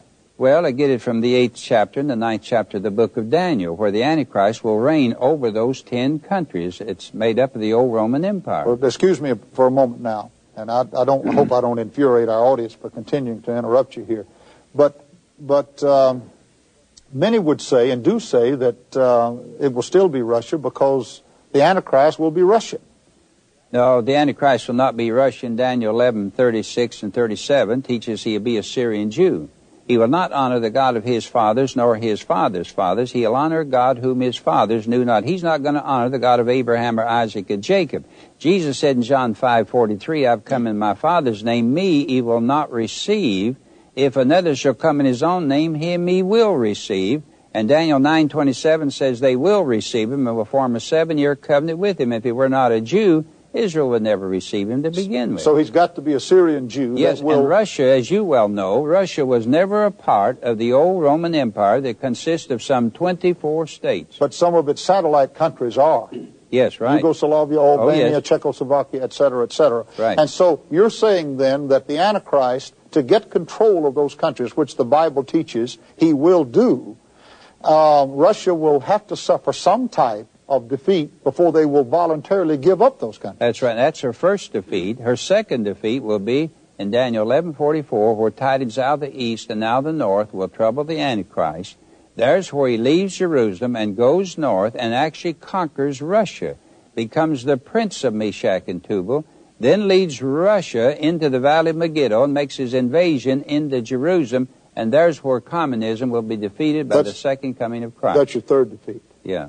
Okay, where's your fourth one? Well, uh, did I say four or three? Whatever. If it's three, I said three. Okay. and if it's four, you meant three. Yeah, huh? if it's four, I meant three. What countries apparently will align with the Antichrist? Well, you have uh, you have 24 states made up of uh, the old Roman Empire. 24 states takes in all the old Roman Empire. Now we know of four of those countries when it's reduced to 10. What the other six are, we don't know. We know Greece, Turkey, Syria, and Egypt. That's the four countries that we know of that will be in line with the Antichrist. So now, going back to this other thought, Brother Swaggart, the, the um, Russia going to annihilate Israel. You hear a lot of this today. I remember years ago when Russia was uh, real strong in Egypt. She had 20,000 soldiers, 10,000 trainees. Preachers preached that Russia was going up and annihilate Israel. Now we heard about Afghanistan. She's going to go up and annihilate Israel. First thing is no such thing as destroying Israel. Israel just as indestructible as the church is. There's going to be an Israel here during the tribulation, going to be Israel in the millennium. That's God's people, and they're going to be here right on. And, and uh, no such thing. Now, Russia may well attack Israel, but that's not given in the Bible anywhere. It's not given. They try to make two battles out of Ezekiel 38 and the 39th chapter. Okay, I want you to explain Ezekiel 38 and 39. Yeah, they get Russia coming up here and attacking Israel before there's before the Battle of Armageddon ever starts. That's only one battle that'll take place, Ezekiel 38th chapter, and that's the time it's she she has been defeated by the Antichrist and led by the Antichrist, coming down to take the land to divide the spoils among them. Okay, it says in the first three verses of chapter 38, Ezekiel, um, Son of man, set thy face against Gog, the land of Magog, the chief prince of Meshech and Tubal, and prophesy against him, etc., etc. And many say that this is speaking of Russia. Well, they what they miss here, Gog is really one of the names of the Antichrist. That's one of his names. That's what they haven't discovered, I guess. G-O-G. Gog. Yeah, Gog goes north and conquers Russia, becomes the prince of Meshech and Tubal, then leads Russia into the Valley of Megiddo, and then makes his invasion into Jerusalem. But this is at the near the end of the tribulation, the second coming of Christ, and really Russia has nothing to do with the first invading of, of uh, Israel here. The Antichrist moves himself into Israel here, sets himself in the temple in the middle of the tribulation, and Russia has nothing to do, with, do with that. Russia's not been conquered as yet by the Antichrist. Okay, the two words Meshech and Tubal. I read some time ago that one preacher said Meshech meant Moscow and Tubal meant Tobolsk. well, we associate a lot of this chapter with Russia due to the 11th chapter of Daniel in verse 44, where he will go north and will conquer Russia, and of course Russia is north the old ideas coming from Russia. Russia was never part of the old Roman Empire, and there's no countries north of Russia for him to conquer anyway. So, so I was just trying to refute that little idea there. But the 11th chapter you get it where this is Russia, where he will go north and conquer Russia. And Daniel, Daniel 11, Daniel 11, 44. Brother Hall, why do you say that Israel is indestructible? There's uh, people out there that's going to disagree with that. Well, because uh, God's made covenants and promises with Abraham and to his seed. And if you notice there, all Israel will be saved at the end of the tribulation. In the millennium, right there where God promised Abraham all that land in Genesis, that'd be divided among the 12 tribes of the children of Israel. And if there was no Israel, be no way to divide anything. But won't Israel be defeated one time? Uh, Israel will suffer great loss mm-hmm. at uh, near the end of the tribulation. That's her darkest hour. Battle of Armageddon. Battle of, she'll suffer a big loss. Two thirds will be killed. But nevertheless, she'll come. Yes, come right on through. God will bring them through. And that tells us that Zechariah, doesn't yes. it? About two thirds. Yes, Zechariah. And two thirds that'll be killed. Now, the, now a lot of people are confused.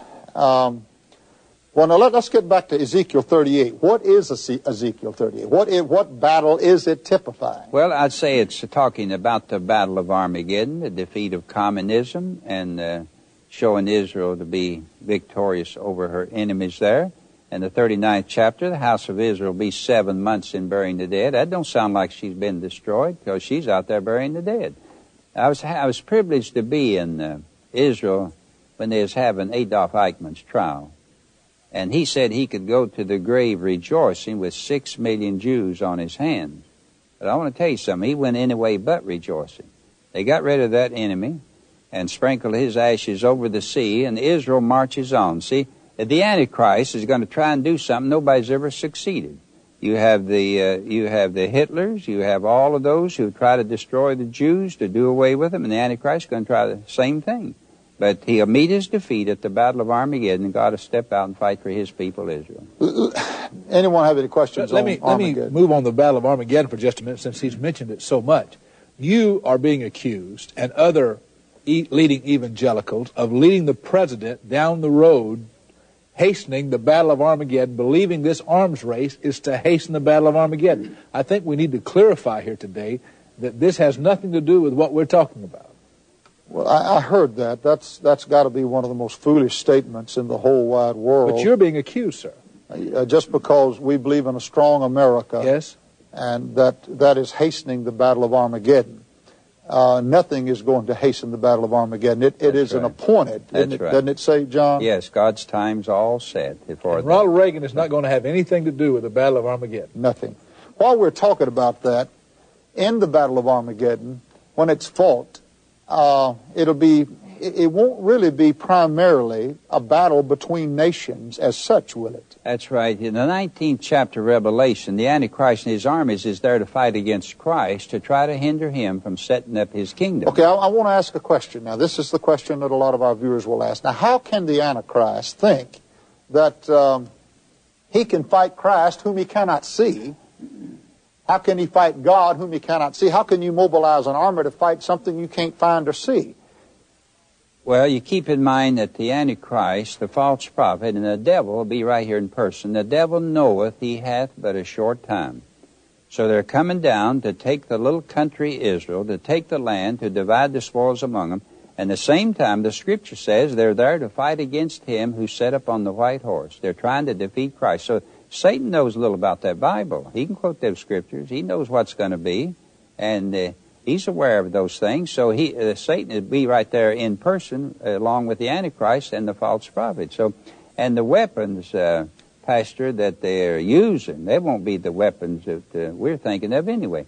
With the brightness of his coming, he's going to slay the wicked there. So all this arms race today has nothing to do with the Battle of Armageddon. I'm glad you brought that out. Doesn't that Good- refer to the Good point. Excuse me, the scripture said, every eye shall see him. yes, that's second coming. Every eye shall see him, and they that have pierced him So the shall look Antichrist upon will be able to see him too. Oh yes, they Yeah. can see him. Oh yes. Brother Hall, what do we do with those people who say that all of the scriptures that refer to Israel really are spiritualized to the church? Good, good question. Well, what you do with those people, I don't know. The Bible said something about he that's ignorant, let him be ignorant still. I guess that's about all you can do with some of them because uh, they're going to insist that uh, that don't mean Israel, that means us. Now you have three classes of people dealt with in your Bible. Uh, 1 Corinthians, the 10th chapter, I believe it's 28th verse. Paul said, give no offense neither to the Jew, nor the Gentile, nor to the church. But it reads the church of God there. It means the body of Christ. Lest some of you become a little exalted out there on your church of God. In the Greek, it reads unto the assemblies of God. I just thought I'd mention that to you. but, but anyway, there's a hundred and some names you can call your church still be in Bible order. So don't think for a moment we, we feel like we're the only ones going to make it. But uh, there, there's your three classes of people that your Bible deals with. Jew, Gentile, and the church. In reading those scriptures, read before the verse, after the verse, see which group he's talking about. And leave it literal. Leave it like it's talking. And don't try to spiritualize, change, and do away with the literal truth that's conveyed by that Bible.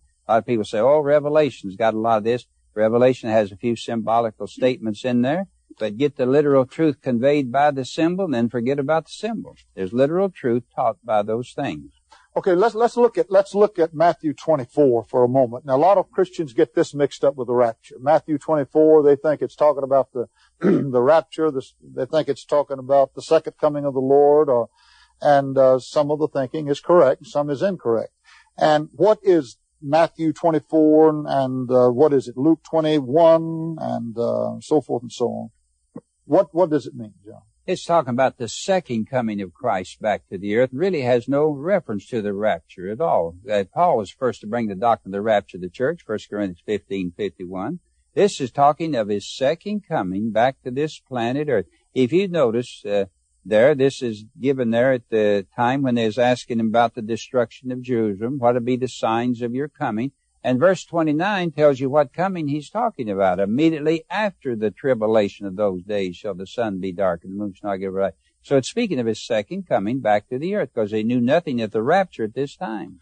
Or what, what is what was Jesus talking about in, in Matthew chapter 24 and verse 15 when he said, The 15th verse says, When you see the abomination of desolation, spoken with Daniel the prophet, who so read, let him understand. Then let them which be in Judea flee in the mountains. You're on the housetop, don't come down, take anything in the house. You're in the field, don't return back for your clothes. And woe be unto them a child, them that give suck in those days. Pray that your flight to be not in the winter, neither on the Sabbath day, for then shall be great tribulation. Such was not since the beginning of the world, and at that time there ever shall be. Uh, which verse did you say? 15th verse. Oh, 15th The verse. abomination. Oh, when you see this abomination of desolation, when you see this Antichrist setting himself in the temple, now you go back to Daniel 12, and that's where Daniel spoke of that. Uh, when you see this happening, then the covenant is broken. You get out of here. You flee. He's telling the Jews to Tell leave, them the leave Jews Jerusalem. to f- leave Jerusalem. Come. Go where? Yeah, well, go into the old city of Petra. Many of them will. Come, my people. Hide yourself, as it were, for a moment. Till the indignation of tribulation be past. And mu- much of them will flee into the old city of Petra. So when you see this, you get out of there. Flee. Okay, that's going to happen though in the middle. in the middle. That's right in the, middle of the tribulation. of the Great Tribulation Yeah. period and pertains only to Israel. That's right. That's to Israel. But you see, a lot of people have not understood what, what, what it means by the words abomination of desolation as spoken by Daniel the prophet. You said he outlined it in chapter 12. Well, he spoke about in chapter 12. Now, the abomination that uh, what we are familiar with, the one that happened before, Antiochus Epiphanes, the last Syrian king, he polluted the temple with a swine and caused the abomination to make a death. Now, where the Antichrist will do that or not, we don't know, but it's something evidently similar and could be the same thing that he'll do. And then the Jews will resent that pig. They'll resent that right off the bat. And Well- the covenant is broken. Okay, now you're saying then, and the Bible tells us that the temple's going to be rebuilt. Oh yes, the temple on the old Mount Moriah, the temple will be built. Daniel 11:45, he shall plant the tabernacle on the glorious holy mount, which is Mount Moriah. There'll be a temple built there, and we understand plans are up to come up with that temple in due time. And by the middle of the tribulation is where the Antichrist will set himself in that temple. Now I might mention this, there are people out there today teaching that Jesus can't come until this temple is built. Why do they teach that? Uh, well, because they think it, because the Antichrist is going to set himself in the temple and the daily sacrifice is going to be restored, that all that has to be before the rapture. That don't have to be before the rapture. They'd have three and a half years to build that temple after the rapture before the Antichrist occupies that temple. You can build a pretty good building in three. Oh, Brother yeah, Hall- three years. I've been working seven on my house. The Mount Moriah is the third most holy place in all the Muslim religion. Mecca, Medina, and then Mount Moriah or the Dome of the Rock. Now, how are they going to how are they going to build a temple there when there's a shrine there today? Well, there's the Dome of the Rock. The Mosque of Omar stands there today. A beautiful temple. A privilege to be in that temple. A lot of, look like a lot of gold up there. But uh, one Jew, one man said, he said uh, there could be an act of God that move that temple. I don't know what all he meant by that. But if that's in the spot where the temples be built, that will be moved. If it's not in the spot, it'll be built over from it. So the exact little spot over there, I can't know. Somebody went over at the tape here a while back and did some measuring and then told us where it's going to be. And that's a bunch of nonsense. Forget that. So, uh, so it will be built on old Mount Moriah in the last days. And there's where the Antichrist will occupy the temple. And there's where the abomination will be is in that temple. Now, you did read in Time and Newsweek, they talked about this group of young Jewish people in Jerusalem that's now studying to serve in the coming temple that will be rebuilt. They're actually studying there now as outlined by Time and Newsweek. Did you, did you read That's that? all interesting, and it blesses you to think of all that, uh, Brother Swaggart. It blesses your soul because if we can see people looking down, especially in the tribulation, preparing for things, it ought to tell us one thing. Right. It's right. time for us to get out of here. That's here. the point. Yes. That's the point. Jesus is coming Yes. for his church. God. Alrighty. Uh, the millennial reign, the most glorious time Yeah. the world has ever known. A lot of you know what that is. A lot of you do not know what it is. And, uh, the word itself really is not in the Bible. Is- And that, isn't that correct, John? The word millennium? That's right. And, but, so we're going to discuss what it really is. And it's one of the most glorious studies. There's no study to me that's any more beautiful and wonderful than the millennium. And, uh, once again, Dr. Hall is, is an authority on this subject, and I think it will be a blessing to you. All right. The millennial reign is one of the most beautiful teachings in the entirety of the Word of God. I'm going to read a little scripture. John quotes it. I have to read it. Isaiah chapter 11, starting with the first word of the first verse, and there shall come forth a rod out of the stem of Jesse, and a branch shall grow out of his roots. And the Spirit of the Lord shall rest upon him, the Spirit of wisdom and understanding, the Spirit of counsel and might, the Spirit of knowledge and of the fear of the Lord. And shall make him of quick understanding in the fear of the Lord, and he shall not judge after the sight of his eyes, neither reprove after the hearing of his ears, but with righteousness shall he judge the poor, and reprove with, with equity for the meek of the earth, and he shall smite the earth with the rod of his mouth, and with the breath of his lips shall he slay the wicked. And righteousness shall be the girdle of his loins, and faithfulness the girdle of his reins. And notice this, this is beautiful. The wolf also shall dwell with the lamb, and the leopard shall lie down with the kid, and the calf and the young lion. You want to finish it, John? You're doing mighty good there. Okay. The calf and the young lion, um, shall, and the fatling together, and a little child shall lead them, and the cow and the bear shall feed. Their young ones shall lie down together, and the lion shall eat straw like the ox. And the sucking child shall play on the hole of the asp, and the weaned child shall put, put his hand on the cockatrice den. They shall not hurt nor destroy in all my holy mountain, for the earth shall be full of the knowledge of the Lord as the waters cover the sea. And in that day there shall be a root of Jesse, which shall stand for an ensign of the people. To it shall the Gentiles seek, and his rest shall be glorious. Praise the Glory. Lord. Hallelujah. Hallelujah. Praise God. Thank you. Lord. Give me just a moment to worship, just a moment, because I'm looking Praise forward Lord. to that moment when his rest shall be glorious. Hallelujah. We'll lay down our sword and shield down by the riverside, and we'll study war no more. Praise. There'll be no more dying and death and sorrow and sickness and heartache and Satan will be locked away. That's the millennial reign. John, many people teach the millennial reign in, in quite a number of different ways. Um, will not Jesus himself come back and personally reign in Jerusalem during this thousand year reign? Uh, Ezekiel 43 7 said, Jerusalem is the place of my throne henceforth and forever. Now Isaiah the second chapter teaches you also he will reign there, and that's where all laws, religions will be issued from the headquarters office in Jerusalem. In fact, the late David Ben Gurion said uh, Jerusalem will soon become the world capital headquarters. Now Isaiah the second chapter said the word of Isaiah the son of Amos, which he saw concerning Judah and Jerusalem, it shall come to pass in the last days, the mountain of the Lord's house will be established on top of the mountain, big exalted above the hills, and all nations shall flow in thereat. And many people go and say, Come and let us go up to the mountain of the house of the God of Jacob. He will worship, we will, we will worship him. And it goes on to tell you there about the sword and all of that will disappear. And the word of the Lord shall go forth from Jerusalem, the law from Zion. So it shows you that will become the world capital headquarters in Jerusalem. And that's where Jesus is going to reign. Right In other there. words, he is personally coming back. This will start at the second coming when he sets his feet on the Mount of Olivet. Right. Zechariah 14, 4 and 5. In that day his feet will stand upon the Mount of Olives, which is before Jerusalem on the east. Goes on to tell you, half of the mount shall move toward the north and half toward the south, and there shall be a very great valley. And the Lord my God shall come, and all the saints with him.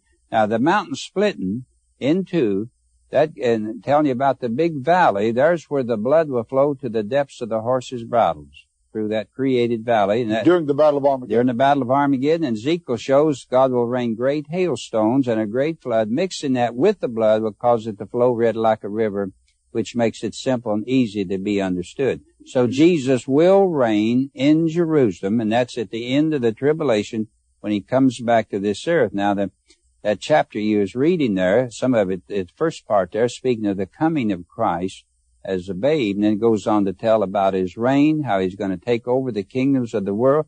And you read some scriptures there, beautiful scriptures there, where the great change is taking place in the animal kingdom. They won't devour each other, it says there. And a weaned child, suckling child, put forth her hand on a cockatrice then, and it won't hurt them, it won't bite them, or, dis- or harm the child and a little child will lead those animals. And uh, that's going to be something different. This is during the millennial reign. During In other words, the, the nature of the animal kingdom is going to be changed. Right. The, the wolf and the lamb will lie down together. Now, you know what happens if they get together day, one ceases to be. But there, they'll lie down together and they won't devour and they'll return back eating grass and other things uh, and won't be devouring each other. Wasn't that the way they were created before yes. Adam's fall? Right, right. That's so the, the plan of God will come full swing and full circle and be realized. Right. When old Adam walked out there and named all those animals, never went to school a day in his life. Had to be a smart one. yes, he was smart. And we go to the zoo today with the little knowledge we have, and we looked at names and can't pronounce them. That old boy never went to school a day in his life. and walked out there and named all those animals, drawing on the resources of God, and that's when the animals were good. Now, when Adam fell, that's the, everything was cursed, the earth cursed, everything in it was cursed. But that curse will be lifted. That curse will be lifted. Long life restored to natural peoples. The thorns and the thistles will disappear off the earth. The animal kingdom will change. And the little child be able to lead the animals and they won't hurt nor destroy. Okay, now, we teach that the millennial reign, and, and, and explain the word millennium before I get to the question. Well, the word millennium, uh, it's, uh, milli meaning thousand, annum meaning ear, years. it's the Greek, it's the it's the Greek word there. So the word doesn't appear in the Bible, but the meaning of it does. The thousand years. And that's given in Revelation 20 chapter mentioned about four or five times there, the thousand years. And that's really what it means. We use the word millennium to make it simple, easy to be understood. Rather or the thousand year reign with Christ. Yeah, a thousand years reign of Christ. Same way with the word rapture. Paul uses being caught up to meet the Lord or are gathered together. So we, we use the word rapture to make it easy for us. I see. Brother Swaggart, let me ask you a question. Will Jesus set up a throne in Jerusalem during this millennium, or will he rule from the temple? Where will he rule from? Well, Good, good question. uh, he'll rule from Jerusalem there, and there will be a temple built one mile square, and he'll he'll be there reigning in the temple, and they'll go from year to year to worship the Lord. Zechariah 14 teaches that if Egypt fails to go to Jerusalem and worship the Lord, this will be the plague wherewith he'll smite them. Everybody will have to go to church and do the things that's right in the millennium, and they'll have to send uh, TV offerings and tithes and radio offerings. no, I slipped that in there. but anyway, they'll give their offerings. They'll come up and worship before the Lord there. And Christ will literally be right there in Jerusalem. So uh, Ezekiel 43, 7, Jerusalem is the place of my throne, henceforth and forever. He's going to reign right So there. he will have a literal throne there. yeah, in and he'll have a temple. And you can see, If sure see the potential in That's our, Ezekiel's temple Yeah, in Ze- 47. That's Ezekiel, Ezekiel 47. That you're right, right on target there. That's and that's not the temple of the Antichrist Right, going to occupy. right. He'll have nothing to do with that temple. This is the temple the Lord will build when He comes to this planet Earth. Well, Ezekiel even measured it, didn't he? Right? He measured. it. Oh yes, give us the measurements and everything. Now, now let me ask this. Excuse me. Glen. No, go ahead. Please No, forgive me for interrupting you. But will not the daily sacrifices be reinstituted in the millennial reign in the temple? Yes, there are certain things, uh, Brother Swag, will be given in the millennium because uh, the lessons and all, and few of those things. Now, we still observe the Lord's Supper. Though Jesus came, died, crucified, and gone back to heaven, we, we observe different things today as a memorial, showing His death till He comes again. And in the millennium, there will be certain things people be doing, uh, natural peoples on the earth, not the glorified the natural people will be doing certain things. They're carrying out those sacrifices. I want to talk about that natural people in a moment, but now this will be a literal kingdom, won't it? This is literal. Oh yes, literal kingdom. Now, what do we mean by the word literal? Well, it's it's not some spiritual. I was in a debate years ago in Los Angeles with a gentleman, and and he said that we're going to reign from heaven. We're going to, and I don't want to say too much because they'll realize who who they were, but a lot of good people in those uh, doctrines. They just get misled and deceived. But he said we're going to reign from heaven. So I challenged him. I said, "Sir, would you present the audience with one verse of scripture where you're going to reign from heaven?" I knew he couldn't give it. Knew it wasn't in there.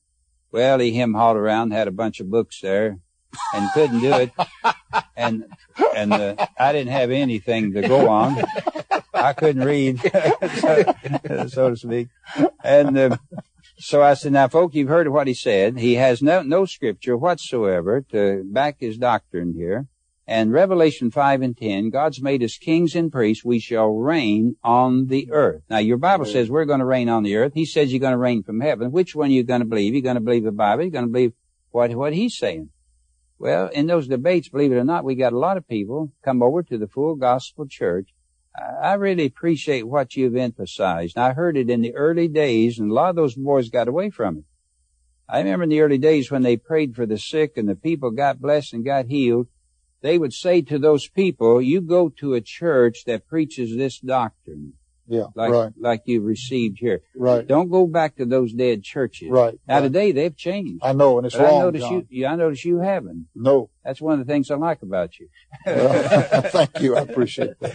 But, uh, you don't want to stay where the full gospel's not preached. You'll lose what you, they say, oh, we're going to stay here and convert them all. Well, that usually is not the Works case. the other way around Yes, most sir. of the time. Yes, sir. I don't remember it- what we was talking about. Literal- there, but it was- literal Yeah, literal. Yeah. This thing is literal. It's going to be a real, literal kingdom, literal people, literal subjects, everything. It's going to be wonderful. Manufacturing, Well, it could be, oh yes, life goes on. They'll plant their vineyards, build their houses, and uh, every man set in his own fig tree, his own vineyard. Life goes on. My mind goes a million miles a minute right now when I Yes. think of in this last few years, technology, science, flights, airplanes, TV, telephones, all these that now are so much being used for corruption in so many areas. But that's going to be used. Flights to Jerusalem from any part of the world in a matter, what did I hear? In the year 2000, they'd be able to catch a, uh, take a rocket from any one airport in the world and land on any other airport in the world in 45 minutes. Now I can go. Do you I, think that's what's going to happen? I can go 45 minutes faster than that? Oh, can you? Yes, sir. Because I'll have a glorified body. I'll say absent, present. Yeah, but what about? The, Yeah, I know Okay, we, you're talking. we, want- we, we want to discuss that right I know now you're talking about the natural. before y'all get now. now, what well, type that's of interesting. what That type of people? Yes, what type of people will be on the earth? Just during be that time? natural peoples, good people going out And there. and And you, you gave something there at, uh, I wanted to insert this when you said all this stuff is being used for the devil today, so to speak.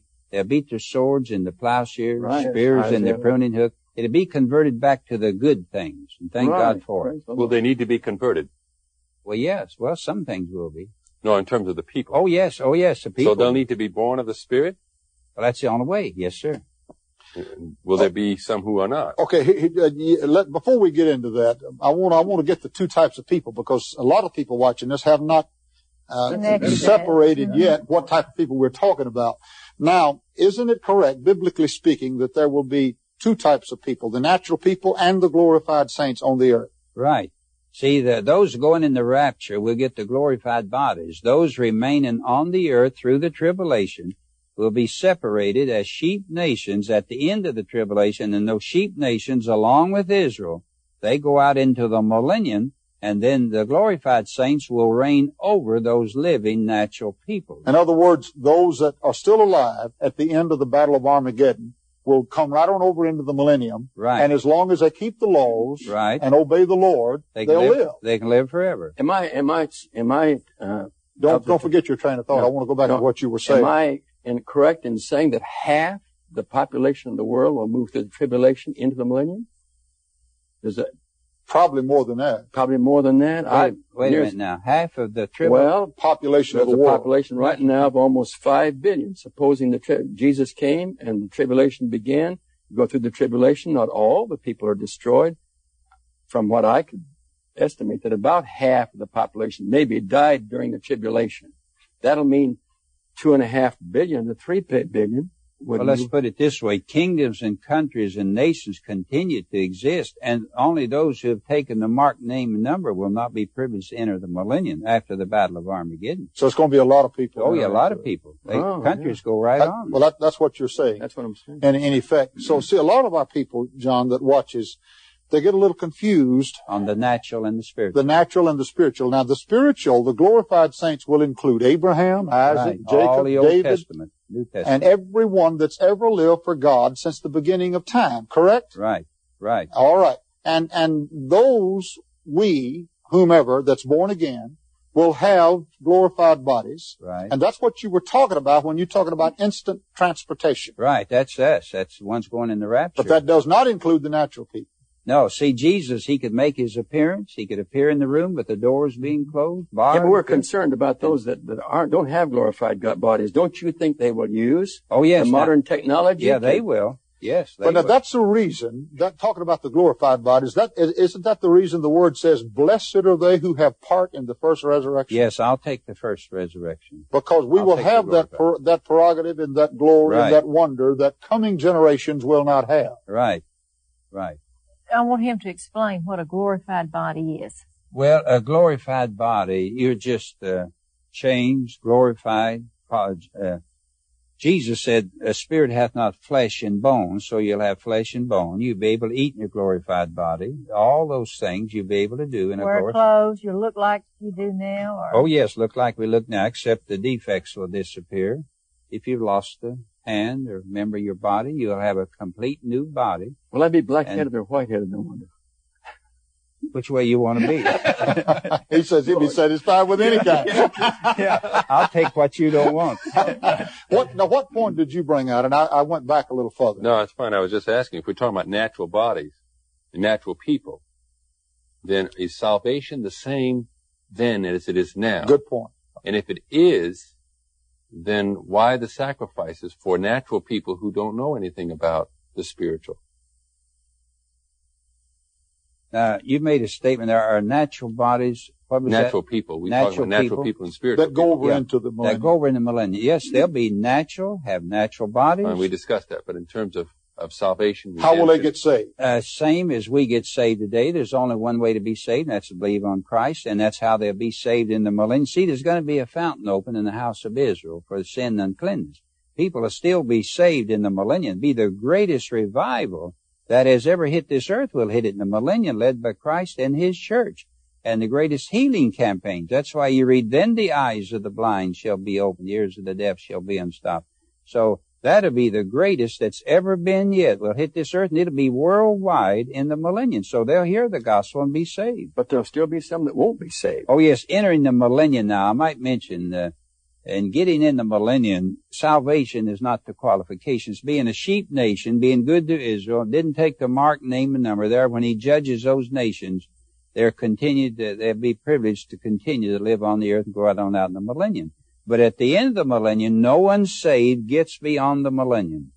That's it. That's the last final dispensational Brother Hall, he asked the question, why, if we're saved by the blood of Jesus, will we continue to offer sacrifices of lambs at the altar in Jerusalem? He really answered that, I think. Well, uh, why do we observe the Lord's Supper? Why Memorial. do we take communion? Memorial. See, we're saved and all that, so it doesn't save you. It has nothing to do with, no, sal- with no, it's just salvation. memorial, just lessons It there. won't be like it was in the Old no, Testament. no, though, it'll be more or less, there'll be some changes made there, I'm sure. And will those people then, the natural people who get saved, will they in turn have a glorified body? No, sir.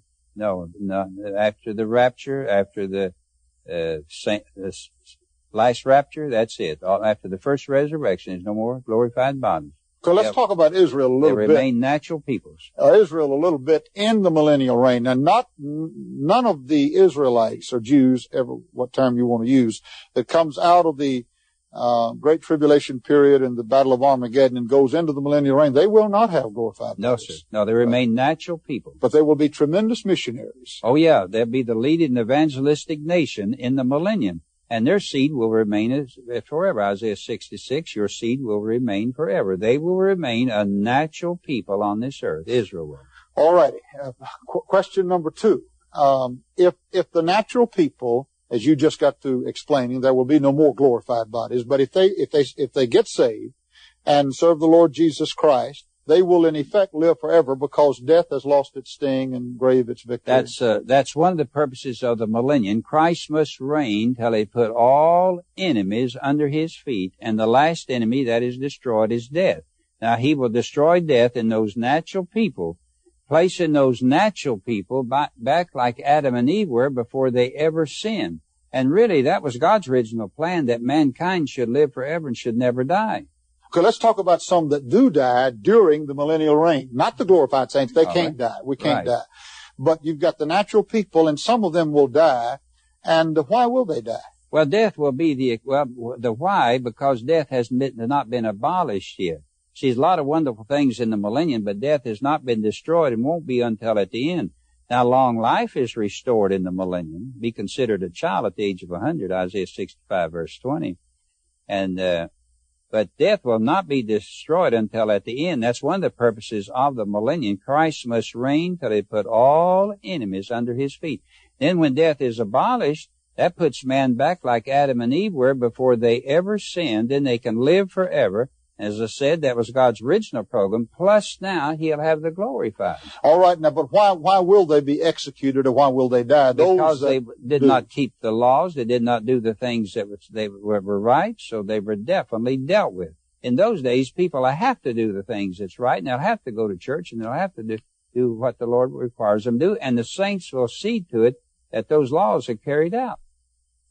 Okay, right at the end of the millennial reign, though, something's going to happen that is that is totally um, different than most of the millennial reign, all of the millennial reign, because it will be the time of the greatest peace and prosperity the world ever knew, the millennial reign. But right at the end of it, Satan is going to be loosed for a little season. Explain that. Well, it, really, the seventh verse of Revelation 20, when the thousand years are expired, Satan shall be loosed for a little season. Who shall go out and gather them together, whose number is, is of the sand of the sea. And that's the purging out of all the rebels out of the millennium. See, they've been privileged to live there because they kept the laws, kept the outward laws and things, so they wasn't dealt with. And, but in their hearts, they will have that rebellion, and when they get that chance to rebel, they will rebel at the end of the millennium. And then, then when they do, they will be destroyed at the end of the millennial reign, and no rebels left to go out into new heavens and new earth. So, point number one, the millennial reign is going to be the time of the greatest peace and prosperity the world has ever known. Right. Number two, many the curse will be lifted from the earth. There will be plenty for everyone. The food problem will be solved. The war problem will be solved and so forth. Number three, Jesus Christ himself, having come back at the second coming, set his feet on the Mount of Olivet, will rule and reign personally in Jerusalem, which will be his headquarters. His disciples will also judge the 12 tribes of Israel. Is that correct? Right, that's right. Each disciple will be over a, a particular tribe, correct? Right. And um, there will be a river that will come out from under the temple. Part of it will flow toward the Dead Sea, part toward the Mediterranean. Right. And the Dead Sea will live. And the trees that grow will be partly for the healing of the nations. Is that correct there? Uh, the, the, the I don't river- want to get over into the perfect age. Yeah, you, you almost slipped over there. Okay. But uh, what you did was all right. That was fine. Because that will bless that will bless everything it touches. That river, That river, flowing yes. out, it'll bless everything it touches. But uh, going on over in the new heavens and new earth now. We're going to do that tomorrow. Right. We've just run out of time. Good. Um, we're, we're going to talk about the, the infinite future. It just goes on and on and on. It's called the perfect age. This is after the millennial reign. When God's New Jerusalem comes down out of heaven, and not only will Jesus have uh, set up his headquarters here in the old Jerusalem, no doubt he'll have to rebuild some of it because of the Battle of Armageddon during the millennial reign, but in the perfect age to come, God is going to move his headquarters from heaven to earth. Right. A lot of people don't know that, but we're going to discuss that, how it's going to be, what it's going to be like. And a lot of people think that, as John was mentioning at the first part of this program, that the saints of God are going to live in heaven forever and forever and forever and forever. That is not biblically correct. That's right. And we want to, to discuss that tomorrow, and I think it will be a, of tremendous help and blessing. Would you about to say something, John? there? No. Okay. And so if you want to know what the future brings, on past the millennial reign, I mean a billion years from now, a trillion years from now, forever and forever, the scripture tells us. What is it going to be like? Will this world be destroyed? Some thinks that it's going to be totally annihilated, blown to the proverbial smithereens until it's nothing left. Does the Bible teach that? We're going to discuss um, the earth, its coming renovation by fire. Will it be burned up? Uh, there's talk. I say there's talk. The Bible talks about a new heavens and a new earth. We want to discuss that, and we also will discuss uh, the last two chapters of the book of Revelation, the coming perfect age, that which will last into infinity, eternity, forever and forever. What will it be like?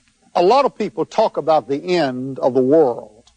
And I think it was in, I know it was in one of the Gospels where the disciples asked Jesus, What shall be the sign of thy coming and of the end of the world? I think in the original Greek the word should have been age, uh, the end of the age. But people talk about the end of the world. They talk about how it will end. And the scripture mentions some things about this earth burning. And we want to discuss that, as I've mentioned, and we want to, dis- to discuss what is going to happen thereafter. Uh, John, will this earth ever end? And what was Peter talking about when he spoke of uh, the heavens, uh, the wherein the heavens being on fire shall be dissolved, and so forth and so Second on. Peter three ten there, wherein the heavens being on fire, and the earth shall be dissolved, and the elements shall melt with fervent heat. Of hence we look for a new heaven and a new earth wherein dwelleth righteousness. Now, if you notice, righteousness is the key thought there. Everything of a sinful nature will be abolished, will be renovated, will be done away with. There's no such thing as God's going to throw this earth away and take time off to make a brand new one. Uh, it'll be changed. Paul says, as a vesture, thou shalt fold it up, and it shall be changed. Hebrews, the 12th chapter, teaches there, the word signifieth once more, not only the earth will be shaken, but the heavens will be shaken. Those things which cannot be shaken will remain. But here's a verse in Ecclesiastes 1, verses 3 and 4. One generation cometh, one passeth away, but the earth abideth forever. It's a long time. That's a long time. And uh, Paul, and then Psalms there, 105 there, it says the foundations of this earth are for sure and shall never be removed henceforth and forever. Now, when is this? When is this renovation by fire going to take That'll place? be at the end of the millennial reign. That's uh, purifying the heavens and the earth, renovating everything of a sinful nature will be abolished. Now, John puts it this way in Revelation: the first heaven, the first earth passed away, Now, we're not to understand they're ceasing to exist. We must remember we passed away. We passed from death unto life. We're new creatures in Christ Jesus. So it is with this earth. Good if you, thought. If you go back and study the original there, it's not cessation, not ceasing to exist, but it's actually passing from one condition to another because your other scriptures teaches that this is an eternal planet and will always be. What is that Greek word there, meaning to pass from one condition to another? Para, para, morchea. Somebody help me. Well, I can't speak Chinese right now. So. Okay. but the, all meaning, the meaning of it is being changed, renovated, purified. Doesn't mean annihilation or no, cessation no, of being. not never ceasing to exist. It's changed from one condition to Yes. another. Is that what Jesus meant when he said, Heaven and earth shall pass away, but my word shall not pass away? Pass from one condition to another. No such thing as heavens and earth passing away. Those are eternal planets, will always be. No such thing as them ceasing to exist. No, that's right. All right, now, now I know that you've explained this half a million times, I guess, without much exaggeration there. But uh, some of the people will be thinking just a moment. Now, when this earth catches on fire, and God promised He would not destroy it again by water, the next time He would renovate it by fire. Uh, what's going to happen to all the glorified saints and the natural people that are on this earth during that transformation time there? Well, actually, to the saints, it wouldn't matter because by that time you have a glorified body. Right. And uh, we're insured against hail, fire, storms, floods, everything when you get that glorified body. You're not subject to that. Now, as to the natural people, how are they going to get over on the new earth? Right. From the millennium, right, right after the millennium, you have your renovation. How are they going to make it over on this new planet Earth after the Earth is renovated? How are they going to be preserved through that fire? Well, we we cite you back to an Old Testament instance where there was three Hebrew children wouldn't bow to an image, and for it they were thrown in a fiery furnace. And I like this part of the story. The Bible said the fire reached out and licked up those strong men. That bunch of devils had it coming, bind those innocent boys and throw them in a fiery furnace. And the fire reached out and licked up those strong men, but it never hurt those boys in the fiery furnace. Not even to the hair of their head was singed. And their garments, only one thing burned, and that was the ropes, the bands they tied them with. God wants His people lifting the holy hands and worshiping Him in spirit and in truth. And God preserved that group right on through it, so He can do the same thing. He's the one that's doing the renovating, and He can preserve them right through and take them over in the new earth. There'll be no problem. Is there any scriptural reference as to how long this renovation is going No, to there take? isn't. No, it doesn't say how long it'll be. Okay, but immediately following will then come the new earth, as we use that term, the the, the changed earth, the Right. the new condition earth. The renewed earth, yes. Okay, now let's uh, explain to the people uh, what that earth is going to look like and what it'll be like. Well, actually, to be the best of everything, and it's, it's there where God moves His headquarters from heaven down on this earth, and God will dwell among mankind, and they shall see God face to face. He'll be right here in person. In fact, at the Christ's second coming, He will come back with Christ, but over there, He moves His headquarters from heaven to earth. Now, here's a city, 6,000 miles around it. 1,500 miles square, 1,500 miles to the highest peak of it. It has walls of jasper, gates of pearl, streets of gold. It has the best of everything. If you notice there, God goes first class. There's deluxe route all the way, the best of everything. Now, I guess that's a little bit why Paul said, "I hath not seen, ear hath not heard. Neither hath entered into the heart of man the things that God hath prepared for those that love him. That's the thing I liked about this, uh, uh, the, all these buildings and everything. It's first class. Nothing cheap around here. God must Yeah. be the head of it. May I ask an unnecessary question? But would it make any difference if this present world was exploded and burned up and destroyed? Why, why does it have to be the same earth?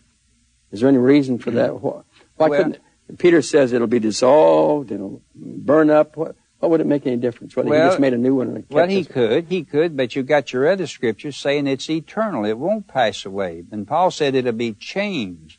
It'll be folded up and shall be changed, but thou art the same and thy years shall not fail. So, so actually the, the thought is it's going to be changing. And Paul said some things cannot be shaken. Now, some things going to remain, going to stand the test and go right through. He's not going to burn up everything. He'll burn the things of a sinful nature, destroy all the works of the enemy, And therefore, we'll have a renewed earth and a renewed heaven. Could it have anything to do with what Satan did in coming down to take over the possessions of the Prince of the Power of the Air? Well, that's a good thought. All that'll be destroyed. Oh, yes. All that'll be cleansed and purified. The Well, now, in this new age to come, in this, this, it, it'll be, it'll be a time without end. Correct? Right. And forever and forever. Time, ages with age without end. Uh, you're saying then, the Bible says, God will, will bring his headquarters, the New Jerusalem.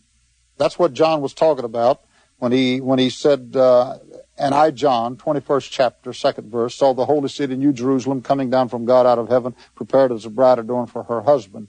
And, and this New Jerusalem, 1500 miles square, will come down from God out of heaven and will set up on this earth to stay forever. Right. And God will move his headquarters from planet heaven to planet earth. Is that correct? That's correct. And the glorified saints, plus all of those natural people that were in the millennial reign, that did not turn their back on the Lord, that live for him, will come over into the perfect age. Right. And the glorified will live in that city. Now, Paul said, first, uh, 1 Corinthians fifteen fifty, flesh and blood won't inherit that. That's for the glorified. Oh, okay. Matthew 5 now says the meek will inherit the earth. I got The you. natural people will live on the earth, and going in that 23rd verse, 24th verse, the nations of those that are saved will come in and out of the city and do bring their glory and honor into it. But actually, the glorified will live in that city. That's our eternal home. Okay, I, I, I don't know if there is an answer to this, but uh, it's why would God want to move his headquarters from heaven to earth? Well, he evidently loves us. He is uh, speaking of Christ. His delight was with the sons of men, and God loves His people. He He loves this earth, and uh, so uh, all the why why He's moving it down here. Now, heaven will still be heaven up there. Yes. You can run up there to heaven if you want to go back and forth and all that. But actually, He will dwell right here, and they'll see God face to face. They Could don't- it be? Excuse me, I'm breaking. No, I'm sorry.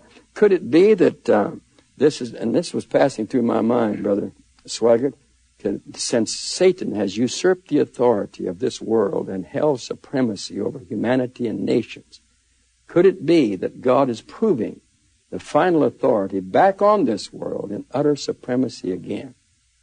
That's a good thought. He loves the earth. He visited man in the Garden of Eden. He was proud of his work. Everything was good. You know, John, when you when you said that, I, I um, we all know, you know, for God so loved the world that He gave His only begotten Son, et cetera, et cetera. When you said that, I, I sense the presence of the Lord. I uh, I don't know why God would love us. I really don't know. I have no idea. There are times that I think that there's not much here that's lovable. But I guess that's what makes makes God different Yes. than the human race Praise that He has created. And He didn't create us evil; that came about because of the fall. But um, God loved us when we were unlovable, and in spite of failure, faults, and problems, but He is making of Himself as what the Scripture says, one new man, or Right. what, what's the correct terminology? Is that it? Yes. and he's making a new creature, one new man, and it's the, the faults, the failures, the problems, the difficulties one day will be done away with Right. completely and totally. And for God to love this world enough to send his son to die on Calvary, that was even greater than him moving his headquarters Yes. here. Right. So I guess we have our own answer there. And you we? have to remember too, we're made in His image, after His likeness, and He liked us so much that He made us in His image. Okay, I, I, want, I want you to explain that because there is some misunderstanding in respect to that particular scripture. Some say, well, that whenever we that was only a spiritual image and meant nothing else. Well, that's false because uh, Genesis 1:26, let us make man their own image after our likeness. That word image is the Hebrew word tselem. It means shape, form, stature, figure, resemblance. The same Hebrew word is used in Genesis 5 where Adam begot a son after his image, after his likeness. And while Jesus was here on this earth, he says, I'm the express image of his person. And Romans 1.20, he said, For the invisible things of him are clearly seen, being understood by the things that are made, even his eternal power and Godhead. There's something in this earth that looks like God. We naturally go back to Genesis and study about mankind made in God's image after his likeness. So, That's us. so you're saying that God has a body. Right. He Paul has, speaks about he spirit. has a body, has a shape, he Has a has spirit form, body. Has a spirit body, right. Paul speaks about that in 2 Corinthians 3, the last two or three verses. We are changed into his image from glory unto glory. By the Spirit within us, it's transforming the church, the believer, the body of Christ into his Oh, okay, but that, that's a little more That- spiritualistic. that's, that's on the spiritual side. Yeah. Well, it is, Right. but don't you think that it really applies to the fact that uh, it, even through us physically, there's Well, a transformation to his That's image? good. That's good thinking. But Okay, but whenever, whenever it says in the Bible that men saw God, when Daniel describes the Lord and says his hair was white, and, and you'll have to help me with that, that long word. Many say that that's what? Anthropomorphic? Is that the word? That it's just uh, uh, trying to explain God to poor finite minds, and it doesn't really mean God has white hair. Is that the, what they're, the term? So uh, explain that. Did, did Daniel really see a figure sitting on a throne with white hair, and does God have white hair? Oh, I think so. He evidently does. Brother Miller would agree with that pretty quick. you and I might be a little slow, but we, but anyway, Lord help us. Exodus thirty-three eleven. Moses spake unto God face to face, as a man speaketh unto his friend. Now Moses saw him and talked with him. When you talk to your friends, you don't talk through a keyhole or a crack of a door. You talk to your friends face to face.